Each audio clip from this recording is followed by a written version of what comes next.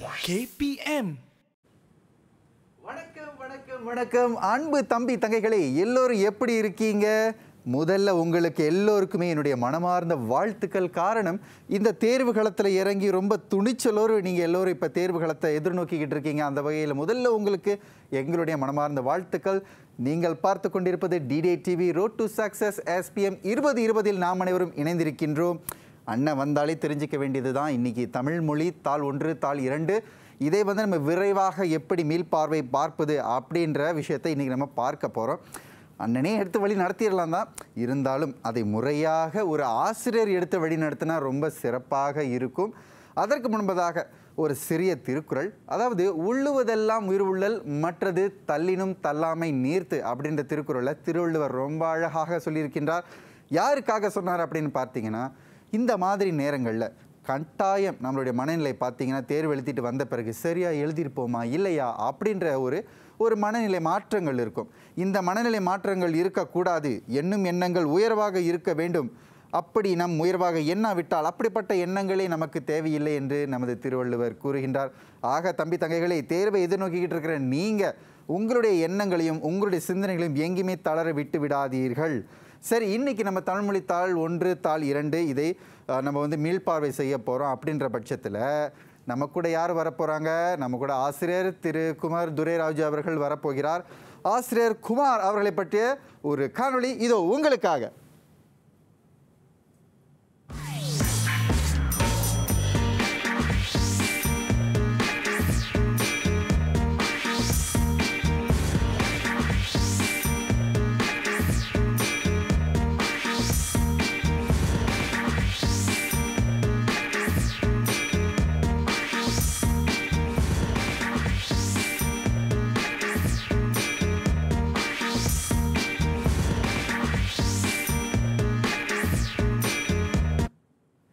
ஆசிரியர் திரு குமார் அவர்களை பற்றி ரொம்ப அருமையான தகவல்களை நம்ம காணொளியில் பார்த்தோம். இப்போ ஆசிரியரை பார்க்க போகிறோம். வணக்கம் ஐயா எப்படி இருக்கீங்க? வணக்கம் நலமாக இருக்கிறேன். நீங்க எப்படி இருக்கீங்க? ரொம்ப சிறப்பாக இருக்கேன். அதாவது இதற்கு முன்பு நம்ம வந்து தமிழ் மொழி தாள் ஒன்று தாள் இரண்டு மாணவர்கள் எப்படியெல்லாம் வந்து புள்ளிகள் பெறலாம் என்னென்ன தவறுகள்லாம் செய்வதை தவிர்க்கலாம் அப்படி நம்ம பார்த்தோம். இன்னைக்கு வந்து பார்த்தீங்கன்னா திங்கட்கிழமை தேர்வு எழுத போகிறார்கள் மாணவர்கள். அந்த பட்சத்தில் நம்ம வந்து வெகு விரைவாக அங்கே தேர்வுக்கு இவங்க எப்படி தயார் செய்து கொள்ளலாம் அப்படின்ற விஷயங்களை பார்க்க போகிறோம் உங்களுடைய எதிர்பார்ப்பு எப்படி இருக்கு? உங்களுடைய உணர்வு எப்படி இருக்குது சொல்லுங்கள் என்னை நன்றாக இறைவன் படைத்தனன் தன்னை நன்றாக தமிழ் செய்யுமாறு. மாணவர்கள் தேர்வு இன்னும் இன்னும் ஒரு ஒரு ஒரு நாள் ஒரு நாள் தான் இருக்கின்றது. திங்கட்கிழமை வந்து தேர்வு எழுத போகிறாங்க மாணவர்கள் எல்லாரும் எல்லாரும் தயார் நிலையில் இருப்பாங்க. எல்லாரும் தயார் நிலையில் இருப்பாங்க. இப்போ இந்த இறுதி கட்டத்தில் மாணவர்கள் வந்து ஒரு மீள்பார்வை தான். என்னென்னலாம் வந்து மாணவர்கள் வந்து செய்ய வேண்டும்? ஒரு இறுதிக்கட்ட தயார் நிலைக்கு இன்றைக்கு வந்து நம்ம மாணவர்களுக்கு வந்து இன்னொரு சில நீங்களும் உதவி செய்ய போகிறோம் ஆமா. படித்ததெல்லாம் ஒரு ஞாபகப்படுத்த போகிறோம் ஆமா அதாவது அன்னைக்கு நாங்க நீங்க என்னென்ன படிச்சு கொடுத்தீங்க அப்படின்ற விஷயத்தெல்லாம் இன்னைக்கு உங்களோட சேர்ந்து நானும் மீள் அதை பார்க்க போறேன். நடத்துவதற்கு நானும் வந்து ஒரு உற்சாகத்தோடும் ஆர்வத்தோடும் வந்திருக்கின்றேன். நிச்சயமாக. ஆக நம்ம வந்து பாடத்துக்குள்ள போவதற்கு முன்பு இப்போ பார்த்தீங்கன்னா நம்ம எல்லோருக்குமே தெரியும் இந்த கோவிட் நைன்டீன் இந்த தொற்று நோய் வந்து ரொம்ப பரவலாக இருக்குது அதனால் நம்ம வந்து புதிய இயல்பு முறைகளை கையாளணும் அப்படின்னு சொல்லி நம்ம அரசு நமக்காக பல திட்டங்களை வகுத்துட்டு இருக்காங்க. அந்த வகையில் நானும் பார்த்தீங்கன்னா இங்கே முகக்கவசம் அணிந்திருக்கேன் நீங்களும் முகக்கவரை அணிந்திருக்கீங்க. நம்ம வந்து மேசையில் நமக்காக சானிடைசர்லாம் ரெடி பண்ணி வச்சுருக்காங்க. அதே மாதிரி வீட்டில் இருக்கக்கூடிய தம்பி தங்கைகள் நீங்களும் வந்து பார்த்தீங்கன்னா அடிக்கடி கைகளை கழுவணும். ஒரு மீட்டர் கூடல் இடைவெளி என்னையும் ஆசிரியரும் போல ஒரு மீட்டர் கூடல் இடைவெளியை நீங்கள் பின்பற்றணும். அதே வேளையில் மறக்காமல் முக கவசத்தையும் நீங்கள் அணிந்து செல்ல வேண்டும். ஆக சார் நம்ம வந்து பாடத்துக்குள்ளே போகிறதுக்கு முன்னுக்கு நம்ம வந்து நம்மளுடைய கைகளை கழுவி விட்டு முகக்கவசங்களை வந்து நம்ம கிளர்ச்சி வைத்து விட்டு நம்ம பாடத்துக்குள்ளே போகலாம். வாங்க. ஆக என்னுடைய இது நான் முதல்ல செய்துடுறேன். ஆ இப்போ நீங்கள் ஆ. இது வந்து ரொம்ப கஷ்டம் அப்படின்னு மாணவர்கள் நினச்சிட்டு இருக்காங்க. இது வந்து உண்மையில் ரொம்ப சுலபமான விஷயங்கள் தான். நம்மளுடைய நன்மைக்காக சொல்லப்படுகின்ற விஷயங்கள். இப்பொழுது நான் முகக்கவசத்தை அணுகிறேன். நம்ம வந்து ஒரு மீட்டர் கூடல் இடைவெளியை பின்பற்ற வேண்டும் சார். முகக்கவசத்தை நீங்கள் கழற்றி வச்சிடலாம் வாங்க வாங்க வந்து கழட்டி வச்சிருங்க. ஆ அப்போ தான் சார் நம்ம பேசுறது தெளிவாக விளங்கும் குழந்தைகளுக்கு. ஆ ஒரு மீட்டர் என்றைக்கும் நம்ம அதை பின்பற்றணும். ஆக உங்களது இங்கே வைத்து விடுங்கள். என்னுடைய இது நான் இங்கே வைத்து விட்டுகிறேன். சரி நம்ம தொடங்கலாம். சரி சார். அதாவது இன்னைக்கு நம்ம வந்து இந்த மீள் பார்வை அப்படின்னு சொல்கிறோம் இல்லையா? இது வந்து நம்ம ரொம்ப விரைவாக ரொம்ப ஒரு குறுகிய காலத்துக்குள்ளே நம்ம இதை பார்க்க போகிறோம் நிச்சயமாக மாணவர்கள் இதை வந்து பார்த்திங்கன்னா ரொம்ப நாளாக இதுக்கு தயார் நிலைப்படுத்தி இருந்திருப்பாங்க. அப்படின்னு சொல்லும்போது இன்றைக்கி ஓரளவுக்கு நம்ம என்னென்ன விஷயங்களை வந்து நம்ம பார்க்க போகிறோம் மாணவர்களுக்கும் அதிக நேரம் இல்லை. ஆமா. அஹ், நமக்கும் அதிக நேரம் இல்லை. ஆக மாணவர்கள் ஏற்கனவே படித்த அந்த பகுதிகள்லாம் எது இதெல்லாம் ரொம்ப முக்கியமான பகுதிகள் எல்லாமே முக்கியமான பகுதிகள். அதில் முக்கியமான தகவல்களை முடிந்த அளவுக்கு நம்ம இன்று ஒரு மீள்பார்வை மாதிரி செய்ய போ- செய்ய போகிறோம் அது வந்து மாணவர்களுக்கு ஓரளவுக்கு உதவியாக இருக்கும். ஆமாம் சரிங்க சார். அதுவும் நிச்சயமாக உங்களுடைய எதிர்பார்ப்புகளை நீங்கள் சொன்னீங்க. அதே போல் இப்போ மாணவருடைய எதிர்பார்ப்புகள் என்ன அப்படின்றத ஒரு சிறிய காணொளியில் தயார் செய்திருக்காங்க. வாங்க பார்க்கலாம் இது உங்களுக்காக.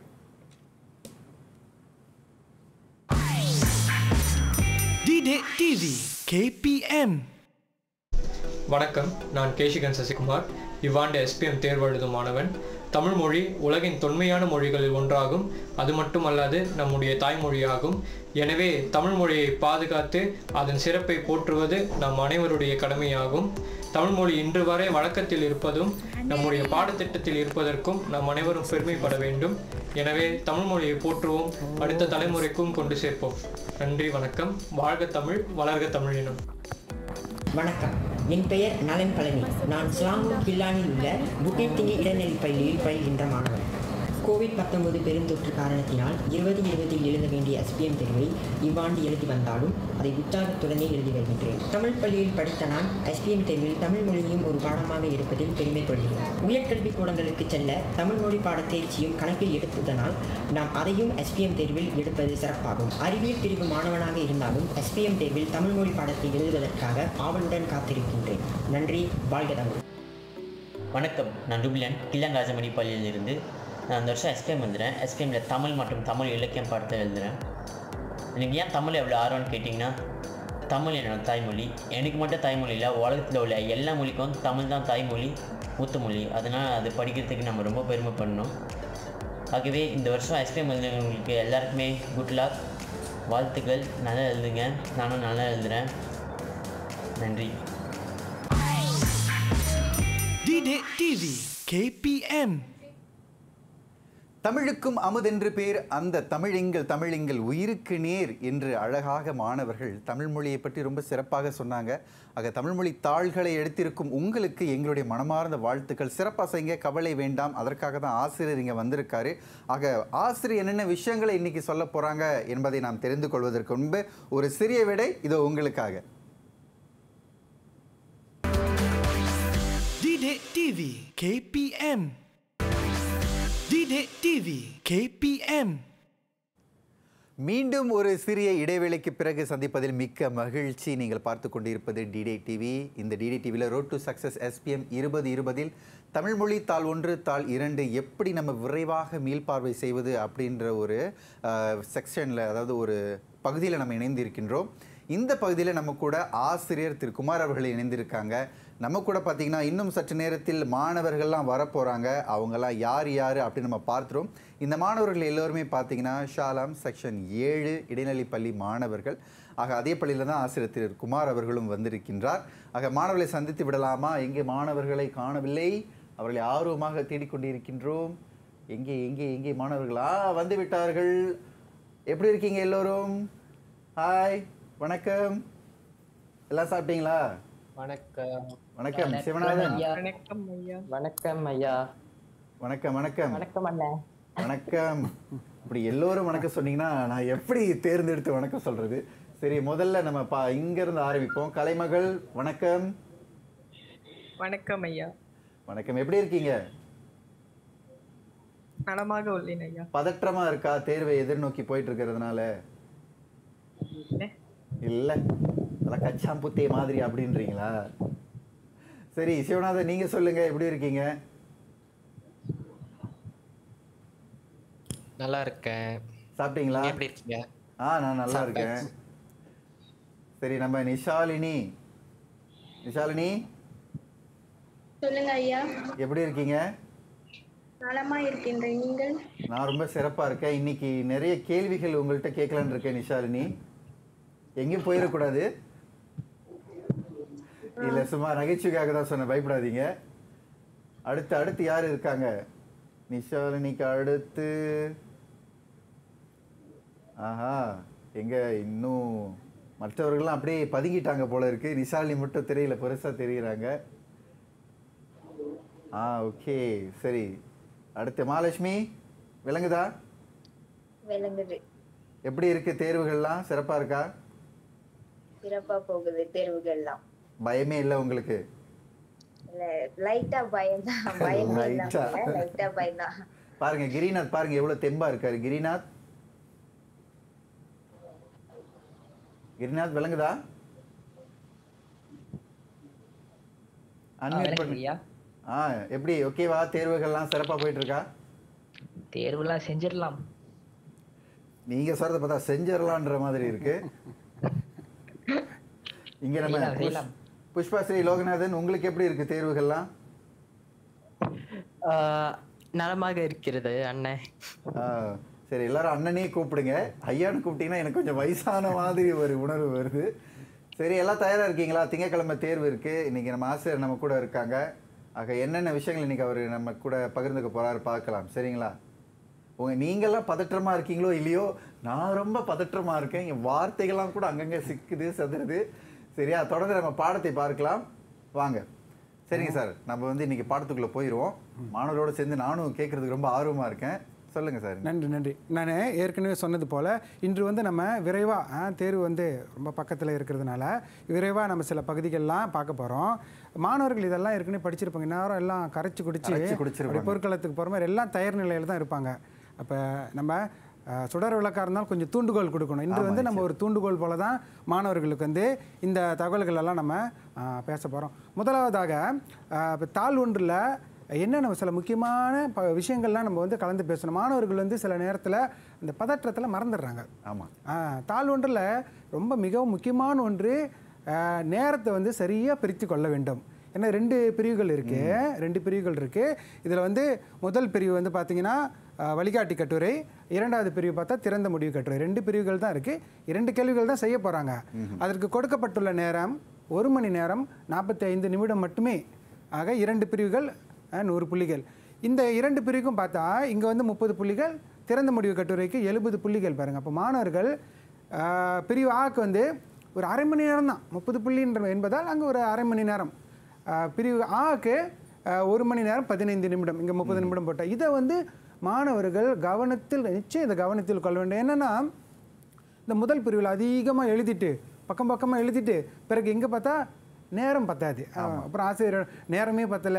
கொஞ்சம் நேரம் கொடுத்துருந்தா நல்லா செஞ்சிருப்பேன் அப்படிலாம் கிடையாது. இருக்கும் நேரத்தை எந்த மாணவர் வந்து சரியாக பிரித்து வச்சுக்கிட்டு அதை முறையாக பயன்படுத்துகிறாரோ அவர் மிகச் சிறப்பாக செய்து விடுவார்கள். அதனால் இந்த நேரம் என்பது ரொம்ப மிகவும் முக்கியம். இதை வந்து மாணவர்கள் எல்லா பாடத்துக்குமே இதை வந்து சிந்தையில் அவங்க வந்து ஞாபகமாக வைத்து கொள்ள வேண்டும். சரிங்களா? அடுத்தது நம்ம இப்போ இப்போ முதல் பிரிவு அஹ், அஹ், பிரிவு ஆ வந்து வழிகாட்டி கட்டுரை என்று சொன்னல இப்போ அறிக்கையாக இருந்தால் சில முக்கியமான கூறுகளை ஞாபகப்படுத்துகிறோம் என்று வந்து நம்ம நோக்கமே மாணவர்களுக்கு ஞாபகப்படுத்துவது. அப்போ இப்போ அறிக்கை என்றால் பாருங்கள் மாணவர்கள் கருத்துக்கள் எல்லாம் மாணவர்களுக்கு கொடுத்துருவாங்க. சொந்தமாக யோசித்து இந்த வழிகாட்டி கட்டுரையில் எழுத மாட்டாங்க. ஏன்னா அவங்க வழியை காட்டிடுவாங்க அப்போ கொடுத்துருக்கிற கருத்துக்களை தான் எழுத போகிறாங்க ஆனால் அமைப்புக்கான கூறுகள் அங்கே கொடுக்கப்பட்டிருக்கும் கொடுத்துருவாங்க. இருந்தாலும் இந்த அமைப்புக்கான கூறுகளை வந்து மாணவர்கள் கொஞ்சம் ஞாபகப்படுத்தி வைத்து கொள்ள வேண்டும். அப்போ அறிக்கையில் பார்த்தீங்கன்னா கட்டாயமாக இருக்க வேண்டியது கழகப் பெயர் தலைப்பு ஆக மேலே வந்து கழகப் பெயர் தலைப்பு இருக்கும். நிகழ்ச்சிகளுக்கு துணை தலைப்பு இருக்க வேண்டும் துணை தலைப்பு இருக்க வேண்டும். பிறகு அந்த ஒவ்வொரு துணை தலைப்புக்கும் ஒன்று புள்ளி ஒன்று இப்போ உதாரணத்துக்கு பாருங்கள் துணை தலைப்புனா இப்போ உரை இருக்கும். இப்போ உரைக்கு வந்து ஒன்று புள்ளி ஒன்று வரவேற்புரை. இப்போ வரவேற்புரை நம்ம எழுதும் பொழுது அது துணை தலைப்பு. அப்போ ஒன்று புள்ளி ஒன்று. இந்த விஷயங்கள்லாம் நம்ம ஏற்கனவே முன்பு கூட நம்ம பேசியிருக்கோம். அதனால இது வந்து ஒரு ஞாபகப்படுத்துகிறோம் அப்போ கட்டாயம் துணை தலைப்பு இருக்கணும். துணை தலைப்புகளுக்கு எண் இருக்க வேண்டும். அறிக்கை தயாரித்தவர் எனும் குறிப்பு. ஏன்னா அறிக்கை தயாரித்தவர் எனும் குறிப்பு இல்லாவிட்டால் அது அறிக்கையே இல்லை. ஆமா. அப்போ கண்டிப்பாக இருக்க வேண்டும். பிறகு கையொப்பம் இருக்க வேண்டும் பெயர் இருக்க வேண்டும். உங்களுடைய பதவி பெரும்பாலும் செயலாளர் தான் எழுதுவாங்க. அப்போ பதவி இருக்க வேண்டும். கட்டாயம் கழகத்தினோட பெயர் இருக்க வேண்டும். பிறகு திகதி வந்து வலப்புறம் எழுதப்பட்டிருக்க வேண்டும். இது வந்து அறிக்கைக்கான முக்கியமான கூறுகள். இதை வந்து நீங்கள் ஞாபகப்படுத்தி வைத்திருக்க வேண்டும். இந்த கூறுகள் எல்லாம் கொடுக்கப்பட்டிருந்தாலும் பாருங்கள் திகதி என்பது வலப்புறம் தான் எழுதணும் அப்படின்றத நம்ம கொஞ்சம் ஞாபகப்படுத்தி அதை நீங்கள் முறையாக எழுதிட்டிங்கன்னா ரொம்ப எளிமையான பகுதி. ஆமாம் அங்கே சிறந்த புள்ளிகளை மாணவர்கள் வந்து பெற்றுவிடலாம். நம்ம என்ன நம்மளுடைய இதெல்லாம் அதில் இருக்கணும்னாக்கா இது எல்லாம் அதில் இருந்தால் போதும் அவ்வளோதான் வேறு ஒன்றும் கூடுதலாலாம் எழுத வேணாம். அதே நேரத்தில் இருக்கும் கருத்துக்களாக இருக்கட்டும் அல்லது அமைப்புக்கான கூறுகளாக இருக்கட்டும் எதுவுமே குறையக்கூடாது. கூடயும் கூட எழுத வேண்டிய அவசியம் இல்லை குறையவும் கூடாது. இது வந்து வழிகாட்டி கட்டுரை. அதாவது ஒரு வீடு கட்டுவதற்கு கற்கள் கொடுக்கப்பட்டு விட்டது. அந்த கற்களை கொண்டு வீடு கட்டுவது தான் நம்ம வேலை. ஆமாம் ஆமாம் இதில் வந்து ஏதாவது உங்களுக்கு மாணவர்களுக்கு ஏதாவது சந்தேகங்கள் இருக்கா? கிரிநாத் கிரிநாத் கிரிநாத்துக்கு கேள்வி இருக்கிறது. சொல்லுங்க ஐயா எத்தனை சொற்களில் இந்த க- கட்டுரை எழுதணும் ஐயா நல்ல கேள்வி. நிறைய மாணவர்கள் இப்போ அவர் கேட்ட மாதிரி தான் நிறைய மாணவர்களுக்கு இந்த பகுதியில் வந்து எத்தனை சொற்கள் எழுதணுன்றதுல வந்து அவங்களுக்கு வந்து அதை பற்றி யோசிக்கிறதே இல்லை. கருத்துக்களும் குறிப்புகளும் கொடுத்துருக்கிறதுனால பக்கம் பக்கமாக எழுதுறாங்க. ரெண்டு பக்கம் மூணு பக்கம் நிறைய எழுதுறாங்க. இங்கே வந்து உண்மையிலே என்ன வந்து நம்ம செய்ய வேண்டும்னா மாணவர்கள் பாருங்க என்ன செய்யணும்னா கொடுக்கப்பட்டிருக்கின்ற அத்தனை கருத்துக்களும் அவங்க என்னென்ன கருத்தெல்லாம் கொடுத்துருப்பாங்களா கொடுத்த அத்தனை கருத்துக்களையும் கட்டாயம் பயன்படுத்தணும். பிறகு அமைப்புக்கான கூறுகள் இருக்கு பாருங்க. அமைப்புக்கான கூறுகள் எல்லாத்தையும் நீங்கள் பயன்படுத்தி எழுதினாலே போதும். நீங்கள் வந்து இங்கே வந்து நம்மளுக்கு சொல்லு வரையறை கிடையாது. ஆனால் ஒரு ஏறக்குறைய நம்ம நம்ம ஆசிரியர்கள் நம்மளுடைய அனுபவத்தில் வந்து ஒரு நூற்று ஐம்பது சொற்களுக்குள்ளாரையே நீங்கள் இதை எழுதி முடிச்சிடலாம். ஆமா. ஆ, ஏன்னா வந்து இந்த முப்பது புள்ளி பாருங்க முப்பது புள்ளிக்கு வந்து நம்ம ஏறக்குறைய ஒரு நூற்று ஐம்பது சொல் போதும். எழுபது புள்ளிக்கான கட்டுரையை பிறகு நம்ம பேச போகிறோம் அதற்கு வந்து நீங்கள் பார்த்தீங்கன்னா அங்கே முந்நூறு சொற்கள்னு வரையறை இருக்கு. அப்போ எழுபது புள்ளிக்கு வந்து ஒரு முந்நூறு சொற்கள் என்னும் பொழுது இங்கே அதை விட குறைவு தான் ஆக நம்ம ஒரு நூற்று ஐம்பது சொற்களுக்குள்ளாரே என்னன்னா எல்லா கருத்தும் இருக்கணும் எல்லா கூறுகளும் இருக்கணும். இது எல்லாமே இருந்தால் கிரிநாத் உங்களுக்கு வந்து நீங்கள் சிறந்த புள்ளிகளை எடுத்து விடலாம். அதுதான் இங்கே முக்கியமான நன்றி. ஓகேவா? உங்களுடைய கேள்விக்கு பதில் கிடைத்ததா? கிடைத்தது ஐயா. நன்றி. நன்றி. நன்றி அண்ணன் நன்றி நன்றி. அதாவது ஒரு சின்ன கணக்கு தான் சார். அதாவது முப்பத்தைந்து நிமிடங்கள்ல நூற்றி ஐம்பது சொற்களுக்குள்ள நம்ம எழுதியாகணும் அந்த பிரிவுல வந்து எழுபது நிமிடங்கள்ல அதை விட இரட்டிப்பாக முந்நூறு சொற்களுக்கு நம்ம எழுதி விட வேண்டும். அவ்வளவுதான். ஆ, இந்த பகுதியில். ஓகே அடுத்தது நம்ம இப்போ வந்து அடுத்தது பாருங்க இதே வழிகாட்டி கட்டுரையில் இந்த உறவு கடிதம் ஏன் போட்டிருக்குன்னா நிறைய மாணவர்கள் வந்து உறவு கடிதம் வந்து யாருமே எழுதுறதில்ல. எனக்கு தெரிந்து இப்போ இந்த நவீன உலகத்தில் நண்பருக்கு யாரும் கடிதம் எழுதுறதில்ல. நான் நம்ம எல்லாம் பார்த்தே பல வருடங்கள் ஆகுது ஆமாம் அதே மாதிரி வந்து சொந்தக்காரங்களுக்கும் யாரும் இப்போ கடிதமே எழுதுறதில்ல. அதனால் இந்த கடிதத்தை கொஞ்சம் ஞாபகப்படுத்துமே என்பதற்காக இங்கே சில குறிப்புகள் கொடுத்துருக்கேன் பாருங்க. நட்பு கடிதமும் உறவு கடிதம் இது இரண்டுமே வந்து அதிகாரப்பூர்வமற்ற கடிதம் தான் இப்போ நட்பு கடிதம் என்பது நண்பருக்கு எழுதுவது. நண்பர்களை தவிர மற்ற உறவுக்காரர்கள் இருக்காங்களா? அம்மா அப்பா மாமா மச்சான் இவங்களுக்கெல்லாம் எழுதுனா அது உறவு கடிதம். பாருங்க உறவு கடிதத்தில் பெயர் முகவரி இதை வலப்புறம் எழுதுவோம். ஏன்னா நம்ம அதிகாரப்பூர்வ கடிதத்தில் அலுவல் கடிதத்தில் எல்லாமே இடப்பக்கமாக எழுதுவோம் இடதுபுறம் எழுதுவோம். இப்போ இங்கே வந்து உறவுக்காரவங்களுக்கும் நண்பர்களுக்கும் நம்ம வலப்புறம் தான் எழுதுவோம். பிறகு திகதி இருக்க வேண்டும். முதல்ல பாருங்க பெயர் இருக்கணும். பெயர் எழுதணும். பெயர் எழுதுனா தான் யார் எழுதுறாங்க அப்படின்னு தெரியும். ஆ தெரியும். முகவரி பிறகு திகதி இருக்கணும். பிறகு விழித்தல் இருக்கணும். அன்புள்ள மாமா அவர்களுக்கு விழித்தல் விழிப்பு இருக்கணும் பாருங்க கடிதத்தில் இருக்க வேண்டும். அடுத்தது முகமன் வணக்கம் சொல்லணும்.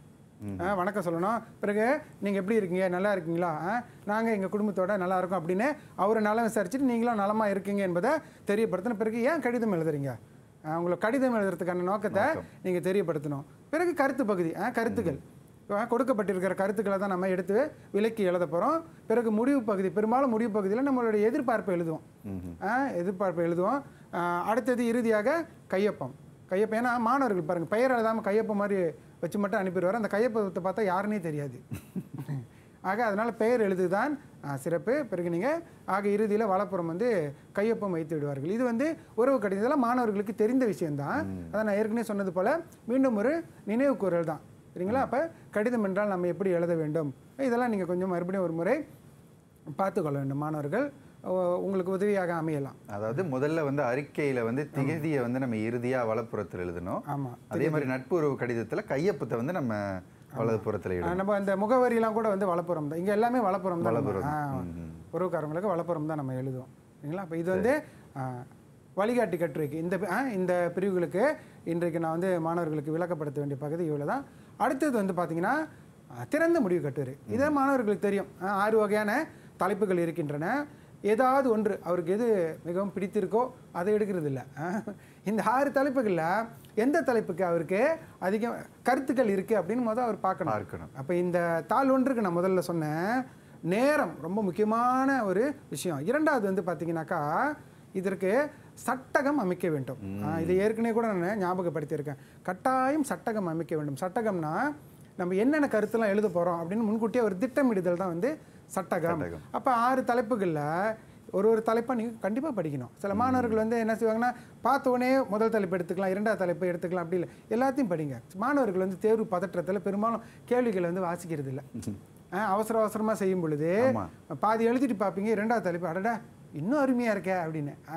அதனால தான் இந்த மாதிரி சிக்கலை நம்ம தவிர்க்கிறதுக்கு முதல்ல நம்ம என்ன செய்யணும்? எல்லாத்தையுமே வாசிக்கணும். எல்லாத்தையுமே வாசித்து நீங்கள் பார்க்குறீங்க எதில் வந்து உங்களுக்கு அதிகமான கருத்துக்கள் இருக்குது எப்படி பார்க்குறது நம்ம சட்டகம் அமைத்து பார்க்க வேண்டும். ஒரு ஒரு ஐந்து கருத்துக்கள் எதிர்பார்க்குறோம். மாணவர்கள்கிட்ட இருந்து ஐந்து கருத்துக்கள் நம்ம படிவம் ஐந்துக்கு எதிர்பார்க்குறோம். அப்போ எந்த தலைப்பில் உங்களுக்கு ஐந்து கருத்துக்கள் இருக்கின்றதோ நீங்கள் அந்த தலைப்பை எடுத்து பிறகு நீங்கள் எழுதும்போது விரைவாக எழுதிடுவாங்க.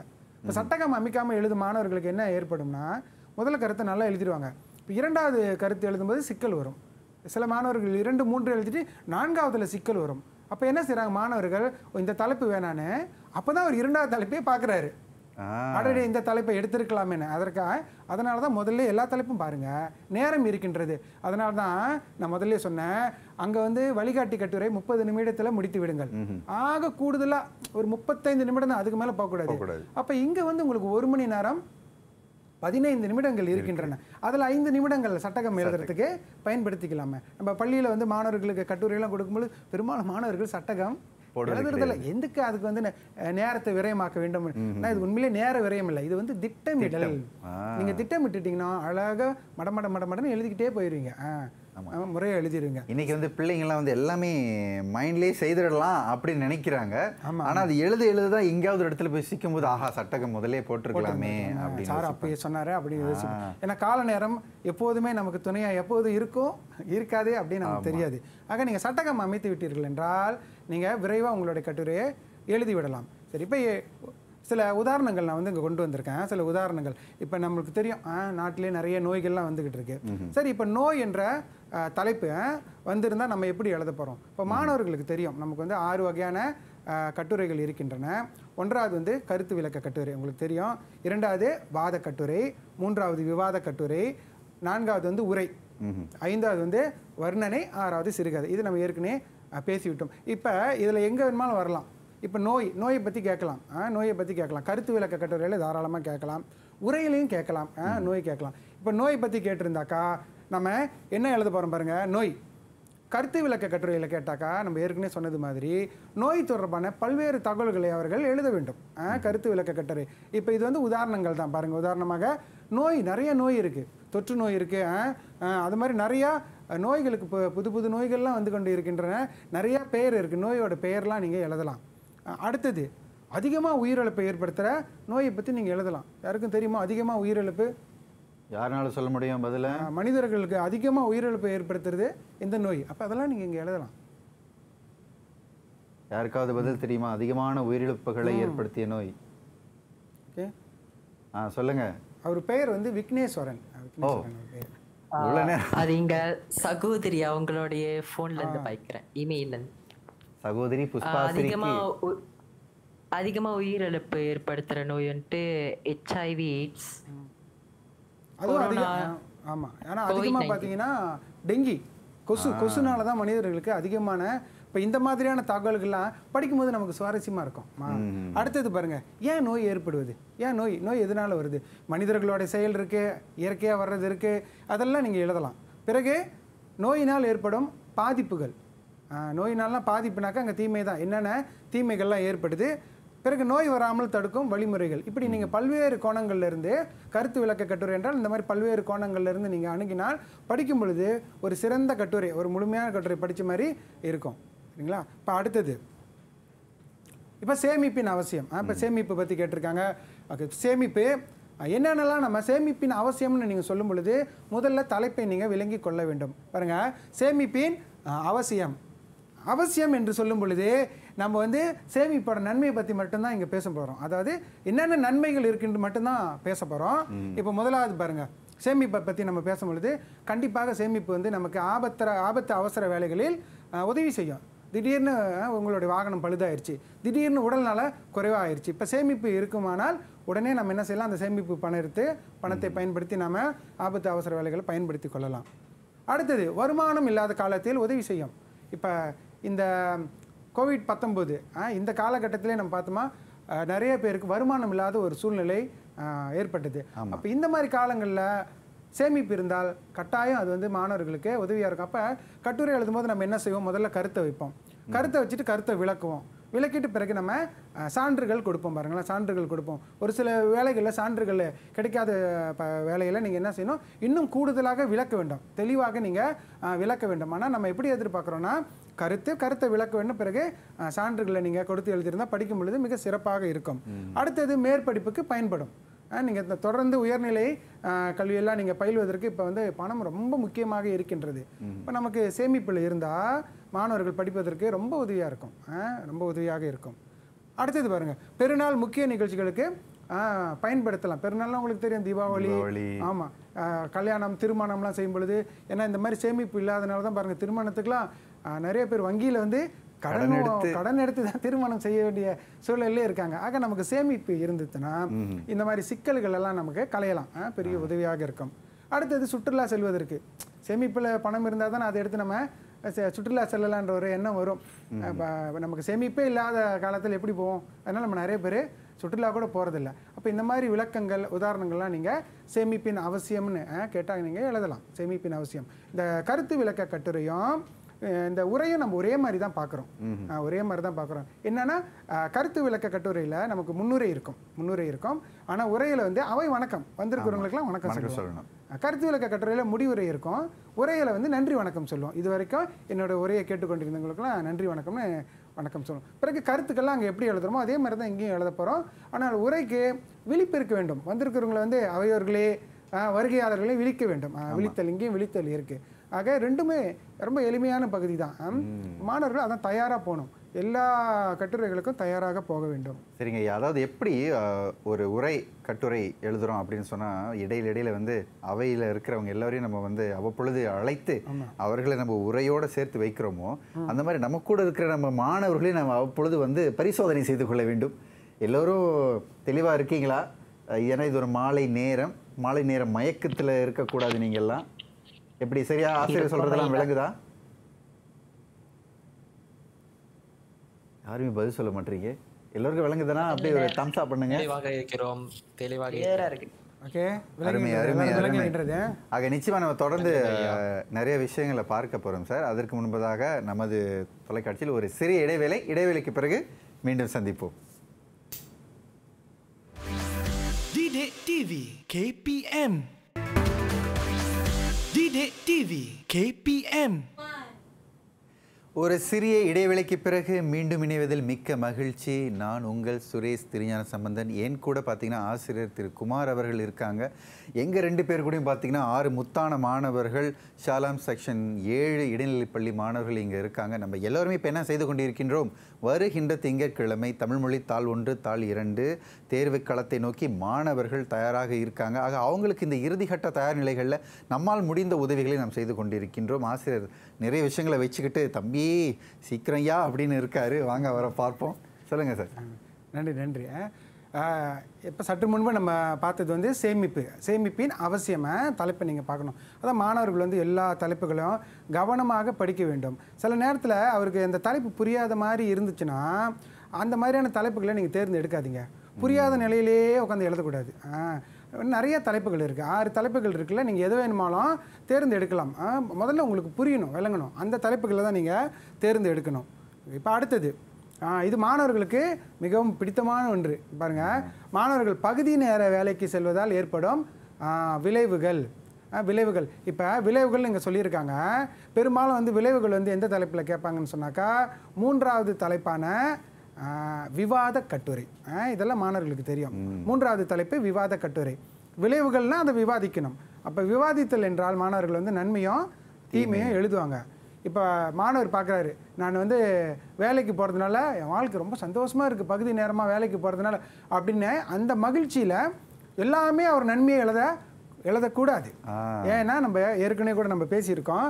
விளைவுகள் என்றால் கட்டாயம் நன்மையும் இருக்க வேண்டும் தீமையும் இருக்க வேண்டும். இரண்டுமே இருந்து இருப்பது தான் ஒரு சிறந்த ஒரு கட்டுரையாக மாணவர்கள் என்ன செய்ய வேண்டும்? கட்டாயம் நன்மை எழுதணும் தீமையும் எழுத வேண்டும். இப்போ இங்கே இதெல்லாம் வந்து சில உதாரணங்கள் தான் எடுத்துக்காட்டுகள். வேலைக்கு போகிறதுனால கண்டிப்பாக குடும்ப சு சுமையை வந்து குறைக்கிறதுக்கு உதவுது. சில பெற்றோர்களுக்கு அது ரொம்ப உதவியாக இருக்குது. பகுதி நேர வேலை. அடுத்தது பார்த்தீங்கன்னா தேவைகளை பூர்த்தி செய்து கொள்ளலாம். அவருக்கு தேவைகள் இருக்கும்.